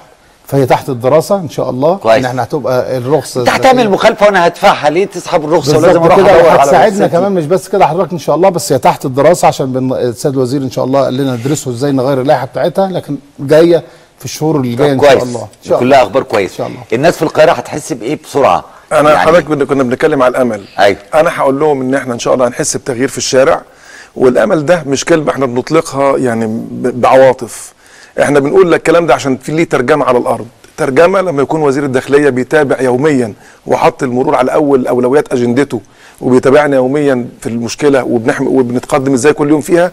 ودعمنا دعم بشري مباشر وده أول مرة تحصل. ودعم مادي مباشر برضه وده أول مرة تحصل إن الوزارة تخش مع- معانا بالتقل بهذا الثقل بال- بالمنظر ده. بقول في أمل لما يكون قواتنا المسلحة المحترمة بتشتغل في صمت. الناس هتتفاجئ في خلال أيام قليلة إن حلول المشاكل بتاعت مداخل القاهرة الشرقية في طريق السويس وطريق إسماعيلية اتحلت حل جذري وحل نهائي. وحل علمي وحل مميز في تنفيذه. ده اللي عاملاه القوات المسلحة. بشكرهم وبشكر الهيئة الهندسية للقوات المسلحة القائمة على هذا النوع من الأعمال. الحقيقة الناس بتشتغل في صمت وبتشتغل حسب احسن أحدث وأحسن وأعلى مواصفات الجودة. يعني إحنا بنشتغل شغل عشان يبقى. مش عشان خاطر بعد فترة يجي الناس يتعمل. بشكر الدكتور جلال السعيد لأنه حاطط محافظه القاهرة كلها بدعم ورا ال- ال- المرور وال- والمرور والنظافة على أول أولوياته وهم أكبر أعمدة في أجندته. بشكر المهندس إبراهيم محلب آه، المصري الأصيل اللي حط المرور وحط إمكانيات وزارة الإسكان كلها معانا في إن إحنا ندور على مواقع الأزمات في الشارع نتيجة الحاجات المخططة خطأ والهندسية اللي معموله المعمولة خطأ. وأنا مش عايز أقول لحضرتك إن هو عشان ما يبقاش كلام عاطفي لما لما سيد الوزير بجلالة قدره بحاله يقول لي اعتبرني فرد في المرور مجند في المرور. هذا الرجل العظيم اللي اللي واقف معانا يعني هذه الوقفة العظيمة إحنا بنوجه له تحية من خلال برنامج حضرتك. أنا طول بوجه له التحية. الدكتور محمود أبو النصر وزير التربية والتعليم اللي بيدعمنا دلوقتي دعم كويس وهيفعل المبادرة في المدارس من خلال حصص وطوابير المدرسة ومطبوعات بتعملها الوزارة للمرور. كل الكلام ده بيحصل. إحنا بنراهن على العسكري الفرد والعسكري والضابط. الناس اللي اعتبرت نفسهم وتحمسوا للمبادرة وقالوا إن إحنا بنقول إن شغلنا رسالة مش وظيفة رغم العمل المضني زي ما سياده اليوم مدحت قال الضنا اللي موجود في المرور والشقى اللي موجود إلا إن الناس قررت إنها تحط ده وتحط مصر قدام عينيها. قررنا إن إحنا يعني نراهن على المصري اللي شاف بلده وصلت للخط الأحمر ويجب إن إحنا نتوقف عن عن السلوكيات الخاطئة اللي موجودة في الشارع. بنقول إن إحنا إن شاء الله هنكون متواجدين معاهم. هيشوفوا شوارع إيه قريب فيها تغيير. أنا بتكلم على القاهرة كلها عموما. كلها هيبقى فيها بتكلم. على القاهرة كلها عموما. هتقدر حضرتك في وقت قريب كده طبعا إحنا يعني يعني أنا بتكلم على القاهرة كإدارة مرور يعني كأحد فروع وأحد إدارات مديرية أمن القاهرة اللي نازلة بكل قوتها معانا ضباط المباحث ضباط المرافق ضباط الأقسام كل ده موجود في منظومة عمل متكاملة كل الناس مستعدة وجاهزة. أنا عايز أقول لحضرتك إن إحنا السيد المساعد أسامة الصغير مدير أمن عنده من المشاغل ما عنده لكن المرور هو بيشتغل معانا زيه يعني زيه زي يعني أكتر مننا في الشارع موجود مع- مع- معانا ومتواجد. كل امكانيات المديرية محطوطة كل الناس كلها متعاونة الناس كلها متحمسة.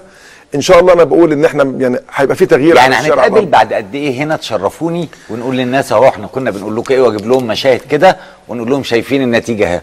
ممكن ناخد وقت قد إيه؟ هناخد إحنا يعني حضرتك هننزل الشارع وهنتعامل بحسم مع المخالفات هنتعامل مع البؤر اللي عاملة مشاكل في الشارع هنقعد مع سواقين الميكروباص والنقل العام والنقل ال- ال- العائل الثاني هنبتدي نعمل برضو بعد مدة انتهاء مهله المبادرة إن إحنا هنقول لجماعة بتوع النقل اللي هو النقل اللي فوق ال 2 طن عشان بوضحها أيوة. للناس اللي عندها العربيات الصغيرة. اللي فوق ال 2 طن هتكون حركته كلها بقرار من السيد المحافظ إن شاء الله بالليل بعد الساعة 12 لغاية 6 الصبح وهنفصل حركة النقل تماما عن حركة العربيات على الطرق داخل القاهرة. طبعا كل الكلام ده على الأرض. أنا بقول لحضرتك إن إحنا في خلال شهر هنقعد تاني وهنتكلم. أنا مش يعني مش عايزين الناس تتوقع إن إن يبقى في حل سحري للدنيا كلها مرة واحدة تبقى كويسة. سحري، بس لكن إحنا بدأنا حل. خطوة. إحنا بنقول إن إحنا ماسكين شمعة في نفق كبير مظلم وهنبتدي بيها. ده كلام ال- ال- ال- الباشمهندس إبراهيم محلب وزير الإسكان. وطبعا إحنا يعني كل مصر وكل الناس اللي عمالة كلنا كمان تتصل بينا شموع ونبقى معاكم عشان بإذن الله. البلد كلها تنور. بإذن الله. جدا سيادة اللواء مدحت قريتم مساعد وزير الداخلية مدير الإدارة العامه للمرور نورتني. سيد. اللواء حسن البرديسي مدير الإدارة العامه للمرور القاهرة نورتني. ربنا معاكم. إحنا هنتابعكم. كاميراتنا موجودة.